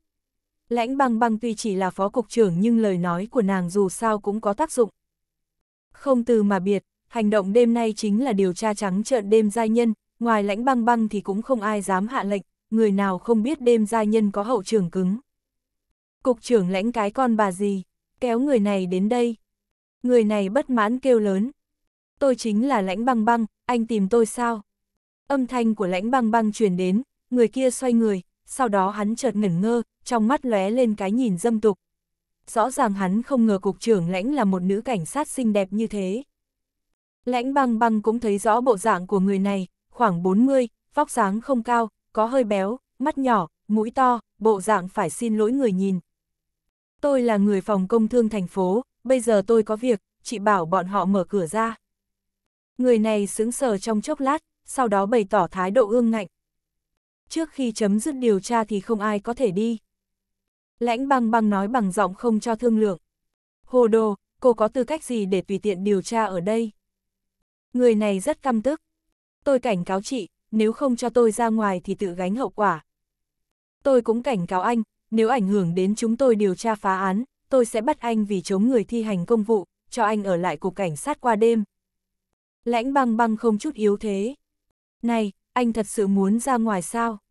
Giọng nói của Hạ Thiên chợt vang lên, tên khốn này rõ ràng uy hiếp cảnh sát tỷ tỷ, đúng là không muốn sống. Cậu là ai? Người này nhìn Hạ Thiên, vẻ mặt rất kiêu căng. Tôi là người có thể cho anh ra ngoài. Hạ Thiên lóe người đi đến trước mặt người kia, sau đó hắn chụp cổ áo đối phương rồi xách lên. Anh muốn ra ngoài sao? Tôi đánh anh văng ra. Cậu dám, á. Người kia phát ra tiếng hét hoảng sợ, Hạ Thiên hất tay ném hắn ra ngoài. Lần này đám cảnh sát không tiến lên ngăn cản, bọn họ để mặc hắn văng ra. Chỉ nghe thấy một tiếng hét thảm thiết vang lên, tên khốn văng ra khỏi đêm giai nhân rồi đập mạnh lên mặt đất. Này, sư phụ, anh quá mạnh. Triệu Thanh Thanh ở bên kia vỗ tay khen hay, nhà đầu này trước đó thiếu chút nữa bị người ta cưỡng hiếp, bây giờ lại tỏ ra không có việc gì. Không thể không nói tố chất tâm lý của nàng thật sự không phải chỉ là mạnh mẽ bình thường. Lúc này tên khốn phòng công thương đã bò lên khỏi mặt đất, hắn muốn xông vào bên trong, nhưng cảnh sát đã ngăn cản. Thật xin lỗi, bên trong đang tạm thời phá án, tạm thời không cho vào. Tôi vừa từ bên trong ra. Người này quát lớn. Tôi không quan tâm anh từ đâu ra, bây giờ không thể vào. Viên cảnh sát này biết rõ quan hệ giữa Hạ Thiên và Lãnh Băng Băng, tất nhiên sẽ không cho người này vào phá rối. Tôi muốn tố cáo cậu ta, tố cáo đả thương người, các anh mau bắt hắn lại. Người này xông đến cửa rồi chỉ vào Hạ Thiên ở bên trong, hắn la lớn. Đừng quấy rối, chúng tôi đang rất bận rộn. Viên cảnh sát kia ra vẻ mất kiên nhẫn. Anh có muốn bị bắt vì quấy nhiễu công vụ không? Anh, các người rõ ràng đang bao che phạm nhân. Người này rất tức giận. Tôi tố cáo các anh, tôi muốn tố cáo với cấp trên của các anh, á. Người này lại thét lên thảm thiết, lần này là Triệu Thanh Thanh phóng ra ngoài đá đối phương nằm lăn trên mặt đất, sau đó nàng đấm đá điên cuồng, nàng vừa đánh vừa hô lớn. Có ai không, tên này sảm sỡ. Hai viên cảnh sát đứng canh cổng không biết nói gì hơn, người ở bên cạnh cục trưởng lãnh quả nhiên rất trâu, người nào cũng hung hãn. Được rồi, Thanh Thanh, đừng làm rộn lên nữa. Lãnh băng băng hô một tiếng, Triệu Thanh Thanh cuối cùng cũng ngừng tay nhưng tên đáng thương kia đã bị đánh mặt mũi bầm dập. Lần này hắn coi như đã biết tình huống không đúng, cũng không dám nói gì mà tranh thủ bỏ đi, nhưng hắn cũng đã nhớ kỹ cái tên lãnh băng băng. Cục trưởng, đồng giang từ trên lầu chạy xuống. Kiểm tra xong chưa? Lãnh băng băng nhíu mà hỏi. Chưa, đã kiểm tra hết lầu 3, còn lầu 4 chưa lên. Đồng Giang khẽ nói. Bảo vệ đêm gia nhân ngăn cản chúng tôi, không cho chúng tôi lên trên. Các anh không làm gì được vài tên bảo vệ sao? Lãnh băng băng rất mất vui.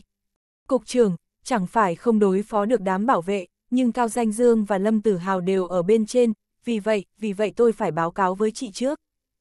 Đồng Giang có chút do dự, một người là công tử của chủ tịch thành phố, một người là công tử của bí thư tỉnh ủy, Đồng Giang dù nhận được lệnh của lãnh băng băng cũng không dám tùy tiện. Dù sao những nhân vật này cũng không phải hắn có thể động vào. Lâm Tử Hào có ở đây sao? Lãnh băng băng có chút kinh ngạc, sau đó nàng cười lạnh. Tốt, bọn họ dám trơ mắt nhìn Thanh Thanh bị người khác cưỡng hiếp. Lãnh băng băng sở dĩ làm ra động tác lớn như vậy vì biết camera ở trong góc, nàng biết ông chủ của đêm giai nhân là Cao Danh Dương, tất nhiên nàng cũng biết ngoài Cao Danh Dương thì không có ai dám đặt camera. Cao Danh Dương đã cho người giám thị tất cả động tĩnh trong các phòng ở đêm gia nhân, như vậy phòng số 10 ở lầu 2 có chuyện gì xảy ra đều được hắn biết rất rõ. Người khác không biết thân phận của Triệu Thanh Thanh nhưng Cao Danh Dương thì biết, nhưng hắn không quan tâm, điều này làm lãnh băng băng cực kỳ tức giận, vì vậy nàng quyết định điều cảnh sát đến làm một cuộc điều tra lớn. Lãnh băng băng không những muốn tìm ra tất cả camera trong phòng ở đêm giai nhân, nàng phải tìm ra tất cả đoạn phim đã được lưu trữ, nếu nàng tìm ra được chứng cứ thì đêm giai nhân coi như đóng cửa. Khi lãnh băng băng đi đến vị trí cầu thang ở lầu 3 thì nhìn thấy cảnh sát đang rằng co với bảo vệ, mà Cao Danh Dương, Lâm Tử Hào thì đang đứng sau lưng đám bảo vệ. Cao Danh Dương, anh xác định muốn cho bọn họ ngăn cản chúng tôi phá án sao? Lãnh băng băng khẽ quát. Cảnh sát lãnh, lầu 4 là khu vực tư nhân, nếu chị muốn lên thì phải cầm theo giấy khám xét. Cao Danh Dương dùng giọng không kiêu ngạo không su nịnh nói. Sao anh phiền phức vậy? Lãnh băng băng còn chưa nói thì Hạ Thiên đã mất kiên nhẫn. Không cho sao, tôi đánh cho một trận.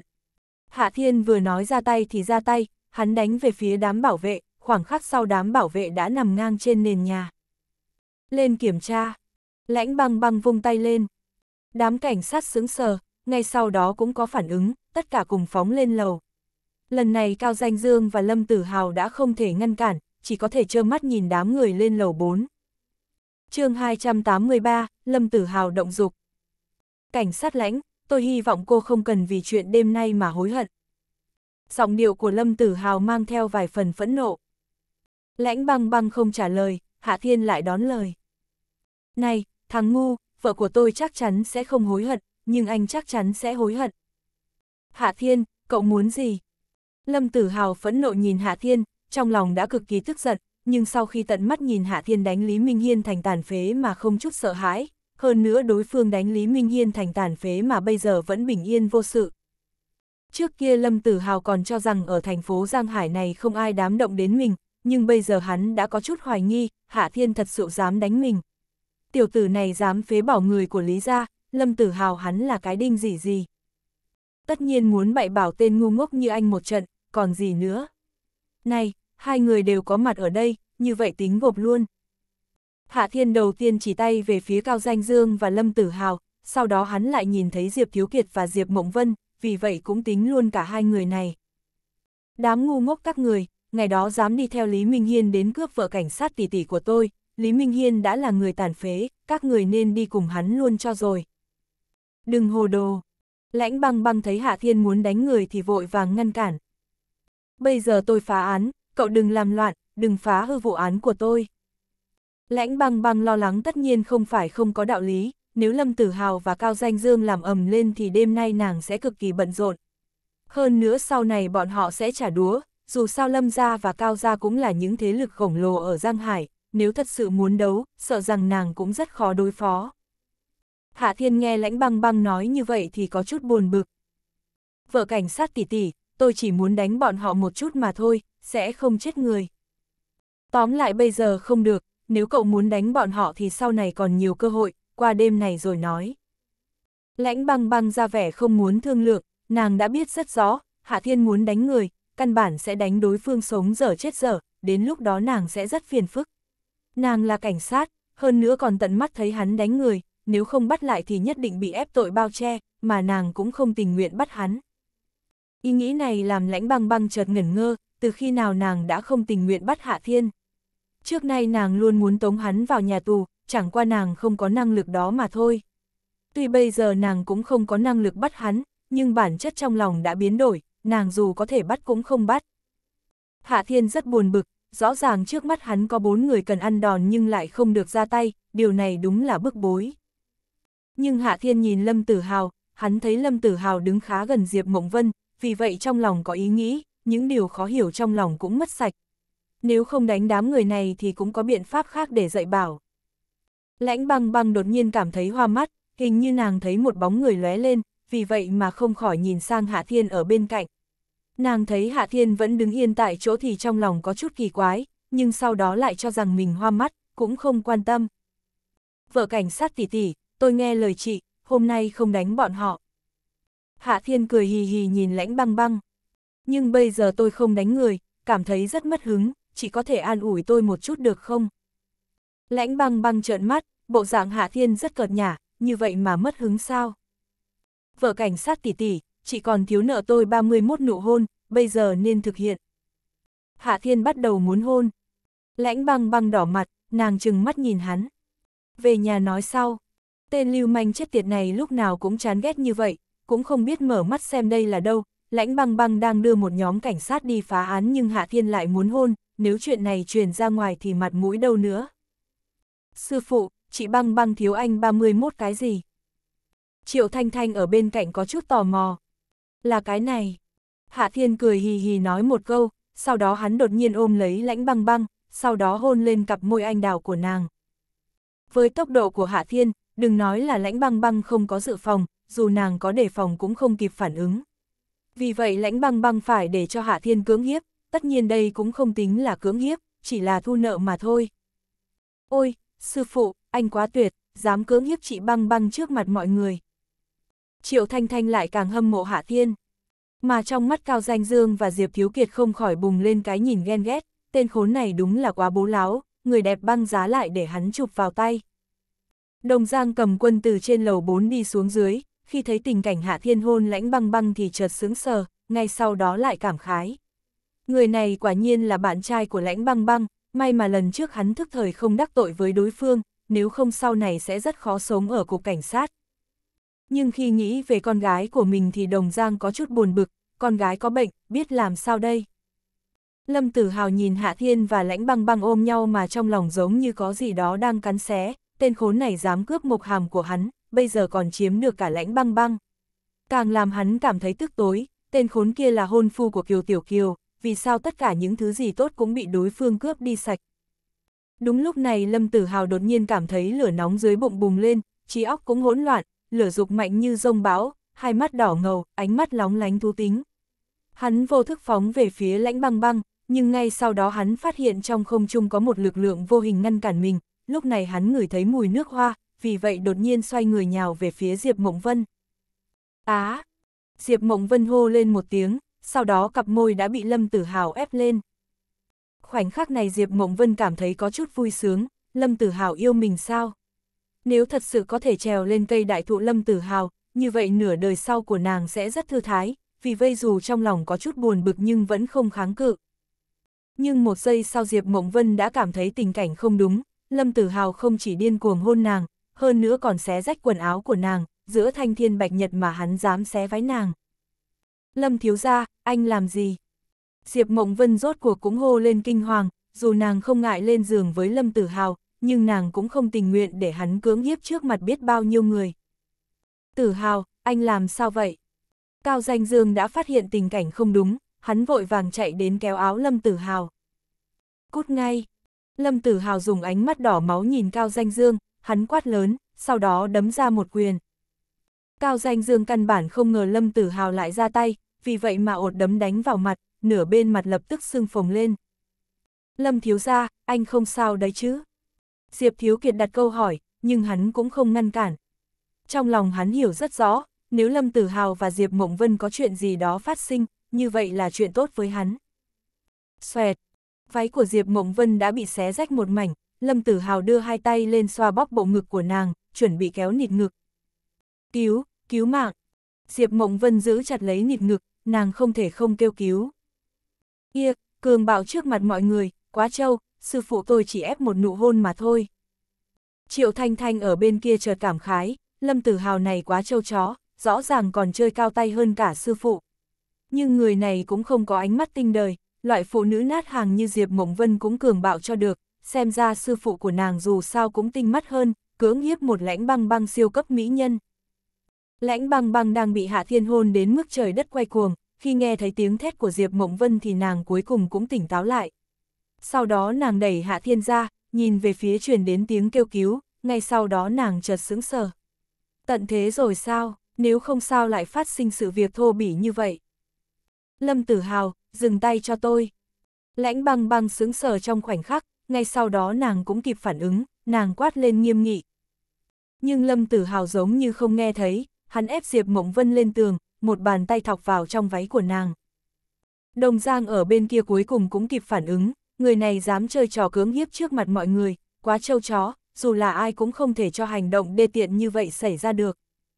Đồng Giang phóng đến sau lưng Lâm Tử Hào, hắn nện súng lên sau gáy đối phương. Lâm Tử Hào kêu thảm một tiếng, cuối cùng hôn mê bất tỉnh. Hôn mê nhanh vậy sao? Triệu Thanh Thanh dùng ánh mắt khinh bỉ nhìn Lâm Tử Hào. Đúng là vô dụng, cưỡng hiếp không thành, nhìn sư phụ của tôi xem, nói cưỡng hiếp là cưỡng hiếp, chị băng băng không phải bị chơi rồi sao? Thanh Thanh, nói bậy bạ gì vậy? Lãnh băng băng vừa thẹn vừa giận, sao mình lại quen biết một con bé dở hơi thế này?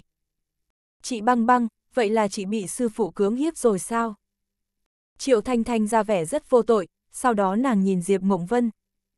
Đúng là kỳ quái, Lâm Tử Hào sao lại chụp cô ta? Mình rõ ràng đẹp hơn cô ta. Triệu Thanh Thanh nghiêng đầu rồi chợt à một tiếng.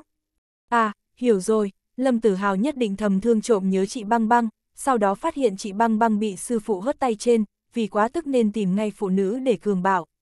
Nhất định là như vậy, mình quá thông minh. Em nói bậy bạ, đêm nay đưa em về nhà. Lãnh băng băng dùng ánh mắt hung hăng nhìn Triệu Thanh Thanh. Ơ, em không nói nữa. Triệu Thanh Thanh tranh thủ thời gian câm miệng, nàng dùng ánh mắt đáng thương nhìn lãnh băng băng. Chị băng băng, chị đừng đuổi em đi, em sẽ không để người ta kéo vào phòng, sau đó mất cái xử nữ. Lãnh băng băng thiếu chút nữa thì tan vỡ, nhà đầu kia nói quái quỷ gì vậy?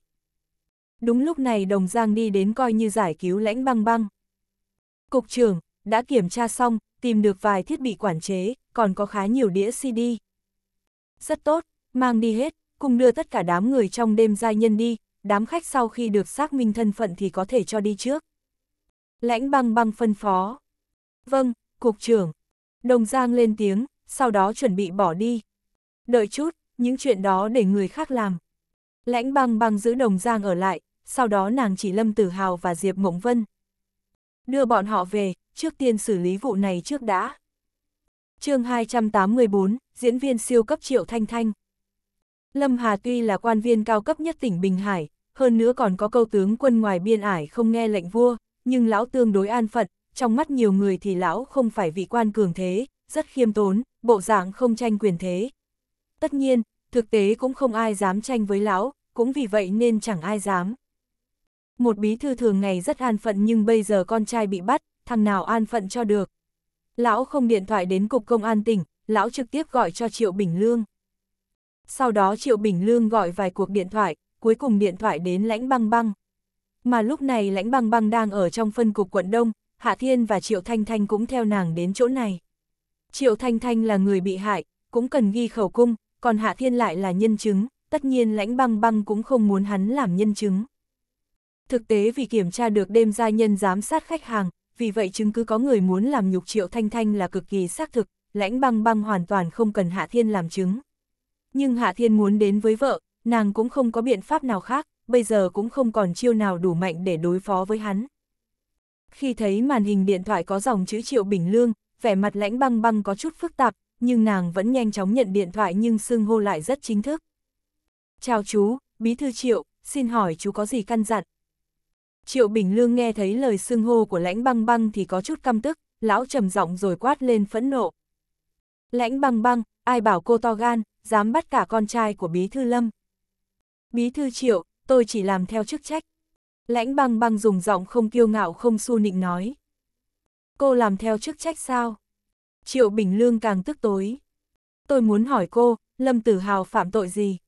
Bí thư Triệu, nếu chú không biết Lâm Tử Hào phạm tội gì, như vậy cháu sẽ báo cáo. Trong lời nói của lãnh băng băng mang theo vài phần trào phúng. Lâm Tử Hào cố gắng cưỡng hiếp Diệp Mộng Vân trước mặt bao người, chính cháu và rất nhiều người trong cục đều nhìn thấy rõ ràng, chú có thấy cháu nên bắt hắn hay không? Hồ đồ, điều này sao có thể? Lâm Tử Hào có thân phận gì, đáng phải cưỡng hiếp Diệp Mộng Vân sao?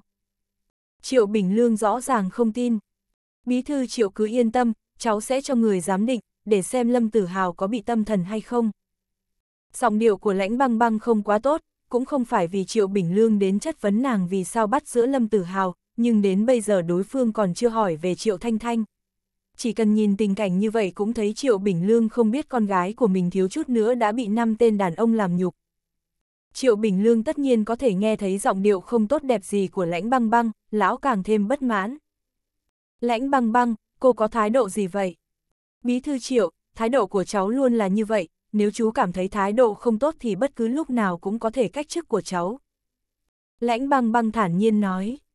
Nhưng trước khi chú cách chức thì có chuyện cháu cần phải nói, dù sao chú cũng có người nhà là người bị hại, chú có quyền được biết. Có người thân bị hại sao? Giọng điệu của Triệu Bình Lương chợt biến đổi. Cháu nói vậy là có ý gì? Con gái của chú là Triệu Thanh Thanh vừa rồi bị năm tên đàn ông bầy mưu hãm hiếp ở đêm giai nhân, bây giờ cô ấy đang ở đồn cảnh sát, chú có muốn sang xem thế nào không? Lãnh băng băng dùng giọng nhàn nhạt hỏi. Cháu nói sao?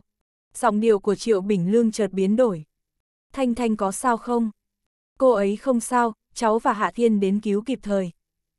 Giọng điệu của lãnh băng băng có chút trào phúng. Nhưng nếu có chuyện xảy ra, chú có hiểu không? Lúc đó Lâm Tử Hào và Cao Danh Dương đều có mặt, bọn họ thông qua camera quan sát nhìn Thanh Thanh sắp bị người ta làm nhục mà không quan tâm. Đầu dây bên kia chợt trầm mặc, sau 10 giây đồng hồ, Triệu Bình Lương mới dùng giọng trầm thấp hỏi. Cháu nói thật sao? Những chuyện thế này cháu còn lừa gạt chú sao? Lãnh băng băng hỏi ngược lại. Thanh Thanh đang ở đâu? Cháu cho nó nhận điện thoại. Triệu Bình Lương nói thêm. Lãnh băng băng đưa điện thoại cho Triệu Thanh Thanh, lúc này Triệu Thanh Thanh rất không tình nguyện nhưng vẫn nhận điện thoại. Hu hu hu, bố. Triệu Thanh Thanh khóc lóc rất thảm thiết. Lãnh băng băng ở bên cạnh chợt giờ khóc giờ cười, Hạ Thiên thì cực kỳ bội phục Triệu Thanh Thanh, nhà đầu này thật sự lợi hại, nói khóc thì khóc ngay, thậm chí nước mắt cũng trào ra. Triệu Bình Lương có đứa con gái như vậy, dù rất bực bội vì nó không nghe lời, nhưng bây giờ nghe con gái khóc cực kỳ thương tâm thì trở nên luống cuống, lão vội vàng an ủi. Thanh Thanh, con làm sao vậy? Đám khốn kiếp kia ức hiếp con sao? Bố, không, may mà sư phụ và chị băng băng đến kịp, nếu không con sẽ không còn được nhìn thấy người, hu hu hu. Triệu Thanh Thanh vừa gào lên vừa tố cáo. Còn nữa, Cao Danh Dương và Lâm Tử Hào đúng là hai tên khốn kiếp, không phải là người, bọn họ nhìn qua camera, thấy con bị ức hiếp nhưng chỉ biết ngồi xem, không đến hỗ trợ, hu hu hu. Được rồi, đừng khóc, đừng khóc, bố sẽ lập tức đến đón con về nhà. Triệu Bình Lương vội vàng an ủi con gái. Con không muốn về, con muốn ở cùng chị băng băng, hu hu hu, nếu không con sẽ gặp ác mộng. Triệu Thanh Thanh lau nước mắt, ngay cả lãnh băng băng cũng không biết lúc này Triệu Thanh Thanh khóc thật hay giả. Được, được, được, không về thì không về, bố sẽ nói mẹ sang xem con thế nào, đừng khóc nữa. Triệu Bình Lương lúc này không còn là bí thư thị ủy, lão chỉ là một người cha bình thường, có một con gái như vậy mà lão không đau lòng sao. À, biết rồi, bố à, bố nhất định phải làm con hả giận đấy nhé. Triệu Thanh Thanh khóc nhỏ hơn một chút, nàng nói. Yên tâm, bố nhất định sẽ giúp con hả giận, đám người đám đụng đến con gái của bố, tất nhiên sẽ không có kết quả tốt. Triệu Bình Lương cắn răng nói. Thanh Thanh, bố cúp điện thoại trước, chút nữa chúng ta sẽ trò chuyện.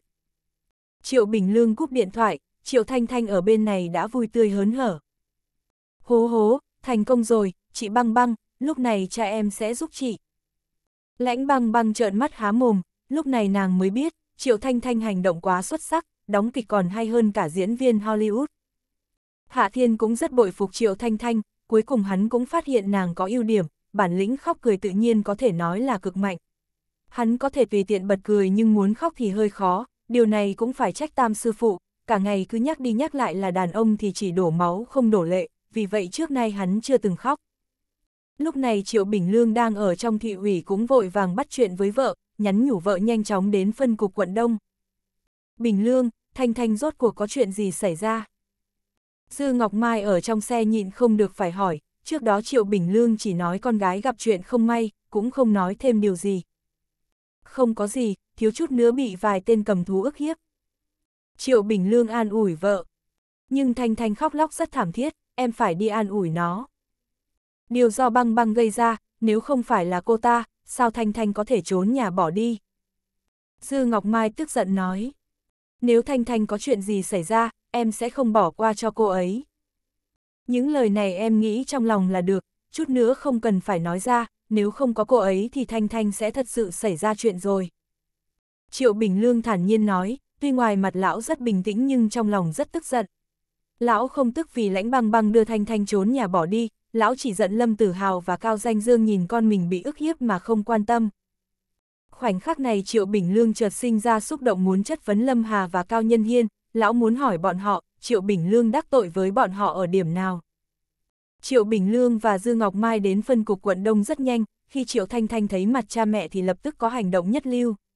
Nàng bổ nhào vào lòng mẹ và khóc giống thảm thiết, đến lúc này Dư Ngọc Mai cũng không còn tâm tư trách móc lãnh băng băng, nàng chỉ vội vàng an ủi con gái.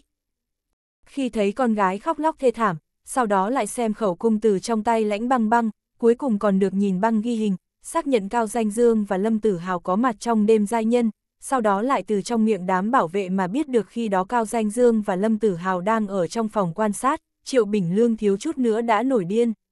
Con gái bảo bối của lão thiếu chút nữa thì bị hủy một cách khơi khơi, quan hệ giữa hai nhà Triệu Lâm là không tệ, mà Lâm Tử Hào lại chẳng quan tâm đến sống chết của Triệu Thanh Thanh. Nếu chứng cứ đã xác thực thì có thể phá án.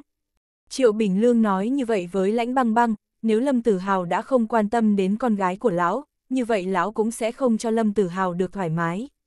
Dù lão đứng trước mặt Lâm Hà cũng sẽ nói ra những lời như vậy.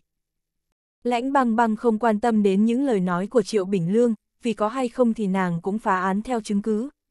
Nhưng đến bây giờ nàng vẫn nghi ngờ, vì sao Lâm Tử Hào lại muốn cưỡng hiếp Diệp Mộng Vân một cách quỷ dị như vậy.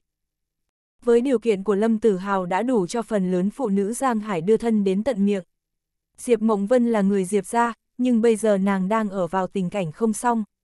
Sau khi Diệp Mộng Oánh chủ quản tập đoàn Thiên Nam, Diệp Mộng Vân không còn địa vị gì trong Diệp gia, lúc này nếu Lâm Tử Hào thật sự có ý với Diệp Mộng Vân, sợ rằng Diệp Mộng Vân có cầu còn chưa được. Quỷ dị nhất là Lâm Tử Hào lại cường bạo Diệp Mộng Vân trước mặt mọi người, điều này quá không bình thường. Lãnh băng băng không khỏi quay đầu nhìn Hạ Thiên, trực giác nói cho nàng biết có liên quan đến Hạ Thiên. Đợi đến khi Triệu Bình Lương và Dư Ngọc Mai bỏ đi thì lãnh băng băng mới kéo Hạ Thiên vào phòng làm việc. Tôi hỏi cậu, Lâm Tử Hào có phải bi cậu động tay động chân không? Hạ Thiên chừng hai mắt, hắn dùng ánh mắt phôi tội nhìn lãnh băng băng. Vợ cảnh sát tỷ tỷ, chị nói gì? Lúc đó không phải tôi đang hôn chị sao? Cậu không làm gì sao? Lãnh băng băng nhớ đến tình cảnh khi đó mà gương mặt đỏ ửng, nhưng nàng vẫn không nhịn được phải hỏi. Không. Hạ Thiên lập tức phủ nhận, vợ cảnh sát tỷ tỷ có tinh thần trọng nghĩa quá mạnh, nếu hắn thừa nhận thì nàng sẽ thả lâm tử hào ra, vì vậy hắn không thể cho sự việc phát sinh. chương 285, tôi sẽ chú ý. Hạ Thiên không thừa nhận thì lãnh băng băng cũng không còn cách nào khác, nhưng nàng biết chuyện này có hơn phân nữa liên quan đến hắn, chẳng qua nàng không tiếp tục truy vấn. Vì hắn có thừa nhận thì Lâm Tử Hào muốn cưỡng hiếp Diệp Mộng Vân trước mặt mọi người là sự thật không thể thay đổi, còn Lâm Tử Hào có bị người ta động tay động chân hay không, cũng không ai nhìn thấy, cũng không có chứng cứ. Chị băng băng, các người ở bên trong làm gì vậy? Đừng nói yêu đương vụng trộm đấy nhé, chúng ta về nhà thì muốn làm gì thì làm. Âm thanh của Triệu Thanh Thanh ngoài cửa truyền vào, nàng nói xong còn ngáp một cái. Em buồn ngủ quá. Triệu Thanh Thanh, không nói bậy sẽ chết người sao? Lãnh băng băng kéo cửa ra, nàng dùng ánh mắt tức giận nhìn Triệu Thanh Thanh, cái gì mà yêu đương vụng trộm. Dù nàng thật sự có làm gì với Hạ Thiên ở bên trong cũng đâu phải vụng trộm. Chị băng băng, em rất buồn ngủ, em muốn về nhà đi ngủ. Triệu Thanh Thanh ngáp liên tục, xem ra mệt mỏi thật sự. Lãnh băng băng thấy Triệu Thanh Thanh như vậy thì nói với Hạ Thiên. Cậu đưa Thanh Thanh về trước, tôi còn có việc trong cục. Chị băng băng, em muốn ngủ với chị. Triệu Thanh Thanh lôi kéo lãnh băng băng. Em sợ đến tối sẽ gặp ác mộng. Chẳng phải em không sợ gì sao? Lãnh băng băng có chút kỳ quái. Bây giờ em gặp chị và sư phụ, tất nhiên sẽ không sợ, nhưng tối ngủ một mình thì em nhất định sẽ gặp ác mộng. Triệu Thanh Thanh có đầy đủ lý do, sau đó nàng bắt đầu năn nỉ lãnh băng băng.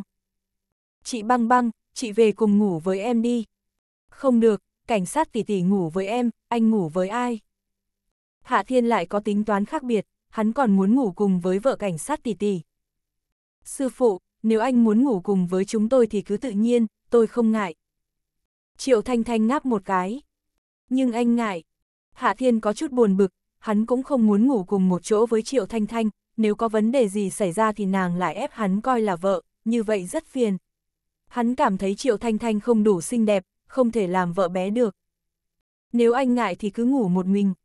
Triệu Thanh Thanh đã ôm lấy lãnh băng băng. Không được, chị băng băng, em thật sự không còn chịu được, mau về nhà thôi. Nơi đây còn có việc. Lãnh băng băng cảm thấy có chút khó khăn. Cục trưởng, chị cứ về nhà nghỉ ngơi, chỗ này có tôi là được. Đồng Giang lúc này cũng đi tới, bộ dạng rất nịnh hót. Được rồi, như vậy vất vả anh. Lãnh băng băng suy nghĩ một chút rồi gật đầu, nàng vốn là phó cục trưởng, cũng không cần nhúng tay vào tất cả mọi chuyện. Bây giờ để Đồng Giang phụ trách là chuyện đương nhiên, nàng chỉ có thói quen phá án mà thôi. Lãnh băng băng đưa Triệu Thanh Thanh đang buồn ngủ giả rời và Hạ Thiên về biệt thự số 13 khu cảnh huyền, sau đó nàng ôm Triệu Thanh Thanh vào phòng ngủ của mình, còn Hạ Thiên thì rất bi kịch, hắn phải ngủ một mình một phòng. Tuy hắn cũng có xúc động muốn chạy sang ôm các nàng ngủ một giấc nhưng cuối cùng cũng nhịn được, hắn không muốn bị nha đầu Triệu Thanh Thanh quấn lấy người. Ngày hôm sau Hạ Thiên thức dậy tương đối trễ, sau đó hắn phát hiện chỉ có một mình Triệu Thanh Thanh ở phòng khách. Cảnh sát tỷ tỷ đâu? Hạ Thiên mở miệng hỏi. Chị băng băng đi làm rồi. Triệu Thanh Thanh trả lời, ngay sau đó nàng lại phàn nàn. Sư phụ, sao anh dậy muộn như vậy? Tôi vẫn chờ anh ăn sáng, đúng là đói chết người. Chờ anh ăn sáng làm gì? Hạ Thiên không nghĩ ra. Em không thể ăn một mình sao? Em có biết làm bữa sáng đâu? Triệu Thanh Thanh chừng mắt nói. Hạ Thiên càng không nghĩ ra. Em không biết làm bữa sáng thì không thể ra ngoài mua sao. Anh cũng sẽ không nấu bữa sáng cho em. Tuy Hạ Thiên không phải đầu bếp chứ danh nhưng dù sao làm một bữa sáng cũng không là gì, nhưng hắn sẽ không bao giờ làm cơm sáng cho Triệu Thanh Thanh. Sư phụ, em vì muốn mua bữa sáng nên mới chờ anh thức dậy. Triệu Thanh Thanh nói. Hạ Thiên có chút chóng mặt, nhà đầu này nói quá rối loạn, nàng muốn mua bữa sáng sao lại chờ hắn thức dậy. Triệu Thanh Thanh không chờ Hạ Thiên đặt câu hỏi, nàng nói ngay. Sư phụ, anh muốn ăn gì? Tôi mua giúp anh. À, tùy tiện thôi, không cần mua mì, anh không thích ăn mì. Hạ Thiên tự nhận không có yêu cầu cao với vấn đề ăn uống. Biết rồi, tôi sẽ đi ngay. Triệu Thanh Thanh gật đầu nhưng không chuyển động. Hạ Thiên có chút bất mãn. Sao còn chưa đi? Sư phụ, tôi chờ anh trả thù lao. Triệu Thanh Thanh nháy mắt. Tôi quên xin tiền của chị băng băng, trên người tôi cũng không còn tiền, anh bảo tôi nên mua bữa sáng thế nào đây? Em không có tiền sao không nói sớm. Hạ Thiên bĩu môi, hắn lấy vài tờ tiền trong túi đưa cho Triệu Thanh Thanh. Cầm đi, tạ ơn sư phụ. Triệu Thanh Thanh nhanh chóng nhận tiền, sau đó nàng nhảy dựng ra khỏi phòng. Rõ ràng nàng chờ Hạ Thiên thức dậy cũng không phải muốn cùng ăn sáng, vì nàng không có tiền, lúc này có tiền rồi, tất nhiên nàng phải phóng đi rất nhanh. Cũng may Triệu Thanh Thanh cầm tiền cũng biết làm việc, chỉ một lát sau đã mua bữa sáng quay về. Nàng mua còn thừa khá nhiều tiền, nàng cũng không muốn trả lại cho Hạ Thiên, rõ ràng đã tham ô mất, nhưng Hạ Thiên cũng không so đo, cũng không quan tâm. Sư phụ, tôi quyết định những ngày nay không ra ngoài chơi, hay anh giúp tôi luyện công. Triệu Thanh Thanh vừa ăn sáng vừa nói. Không có hứng. Hạ Thiên từ chối ngay. Sư phụ, sao anh không có trách nhiệm như vậy, anh thu đồ đệ phải chịu trách nhiệm dạy võ chứ? Triệu Thanh Thanh có chút bất mãn. Hạ Thiên bĩu môi. Anh thu em làm đồ đệ sao? Triệu Thanh Thanh có chút buồn bực, người này đúng là, người ta gọi mình là sư phụ nhưng không chịu thừa nhận, đúng là không có lý lẽ. Sư phụ, dù tôi không phải đồ đệ của anh, nhưng anh cũng có thể giúp tôi luyện võ chứ. Anh không biết, luyện võ với người đẹp sẽ là cơ hội lớn sao? Triệu Thanh Thanh cố gắng thuyết phục Hạ Thiên. Anh có thể nhân cơ hội chiếm tiện nghi của tôi, mà tôi sẽ không quan tâm. Anh không thích chiếm tiện nghi của em. Hạ Thiên lười biếng nói. Còn nữa, em cũng không phải là người đẹp, chỉ có cảnh sát tỷ tỷ mới gọi là người đẹp. Sư phụ, anh đừng yêu cầu quá cao vậy chứ. Triệu Thanh Thanh có chút tức tối, nàng không tính là người đẹp thì trên đời này làm quái gì còn người đẹp.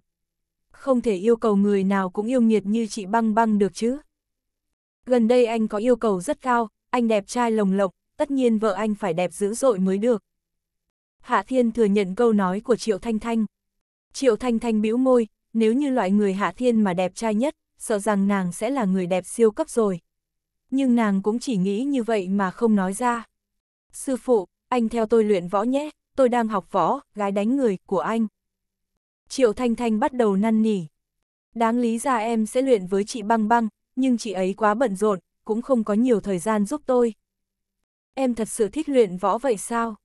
Hạ Thiên đột nhiên nhớ đến một vấn đề, hắn mở miệng hỏi. Tất nhiên là muốn luyện, em muốn trở thành nữ hiệp đệ nhất thiên hạ. Triệu Thanh Thanh vội vàng nói. Vậy thì được, anh đưa em đến một nơi, nơi đó đảm bảo mỗi ngày sẽ có người cùng luyện võ với em. Hạ Thiên nghĩ ngay đến Liễu Mộng đang tìm người luyện võ, bây giờ Triệu Thanh Thanh muốn luyện công, như vậy đưa nàng đến cho Liễu Mộng. Còn Triệu Thanh Thanh có bị bầm dập khi luyện võ với Liễu Mộng hay không, điều này cũng không cần hắn lo lắng. Sau khi biết sẽ đến nhà Kiều Tiểu Kiều, hơn nữa còn luyện võ với ma nữ đệ nhất thiên hạ trong tương lai, Triệu Thanh Thanh lập tức trở nên vui sướng và hưng phấn, cuối cùng nàng thúc giục Hạ Thiên đi đến Kiều gia. Trước đó Triệu Thanh Thanh đã có quen biết với Kiều Tiểu Kiều, vì vậy Kiều Tiểu Kiều nhìn thấy Triệu Thanh Thanh thì không cảm thấy bất ngờ. Liễu Mộng biết Triệu Thanh Thanh đến giúp mình luyện võ thì cũng vui sướng cho Hạ Thiên một nụ hôn cháy lưỡi, Mộc Hàm cũng vui sướng tặng Hạ Thiên một nụ hôn ngất ngây. Thậm chí ngay cả Kiều Phượng Nhi và Kiều Hoàng Nhi cũng có xúc động muốn hôn chết Hạ Thiên, sắc lang này cuối cùng cũng làm việc ra hồn. Vài ngày qua Mộc Hàm đáng lý ra đã cứu giúp Kiều Phượng Nhi và Kiều Hoàng Nhi, nhưng Mộc Hàm cũng căn bản không phải là đối thủ của Liễu Mộng. Sau đó Liễu Mộng cảm thấy mất hứng, nàng kéo cả ba nàng đến cùng luyện võ. Kiều Phượng Nhi và Kiều Hoàng Nhi đáng thương lại là bao cát, Mộc Hàm cũng giống như vậy, bây giờ có người thay thế, tất nhiên các nàng sẽ rất vui sướng. Khi thấy gương mặt Kiều Phượng Nhi, Kiều Hoàng Nhi và Mộc Hàm có vẻ bầm dập thì hai mắt Triệu Thanh Thanh chợt tỏa sáng, xem ra ma nữ tương lai đệ nhất thiên hạ rất lợi hại, nàng thích người lợi hại. Sau khi thoát khỏi một Triệu Thanh Thanh phiền toái, lại cho vợ mình một bao cát, Hạ Thiên rất hài lòng. Hắn muốn lên ở cùng Kiều Tiểu Kiều, nhưng thấy nàng vẫn bận rộn với máy tính, hơn nữa hắn cũng chẳng hiểu gì, vì vậy hắn đành phải di cư. Đúng lúc này hắn nhận được điện thoại của Kiều Đông Hải. Hạ Thiên, cậu đang ở đâu, có rãnh không? Tôi đang ở trong biệt thự của Tiểu Kiều. Hạ Thiên trả lời. Cậu đang ở đó sao? À, tôi cúp máy trước. Kiều Đông Hải cúp điện thoại, sau đó hắn từ bên ngoài đi vào, thì ra hắn đến bên ngoài biệt thự của Kiều Tiểu Kiều mới điện thoại cho Hạ Thiên. Hạ Thiên, nghe nói cậu đem Lâm Tử Hào đến cục cảnh sát phải không?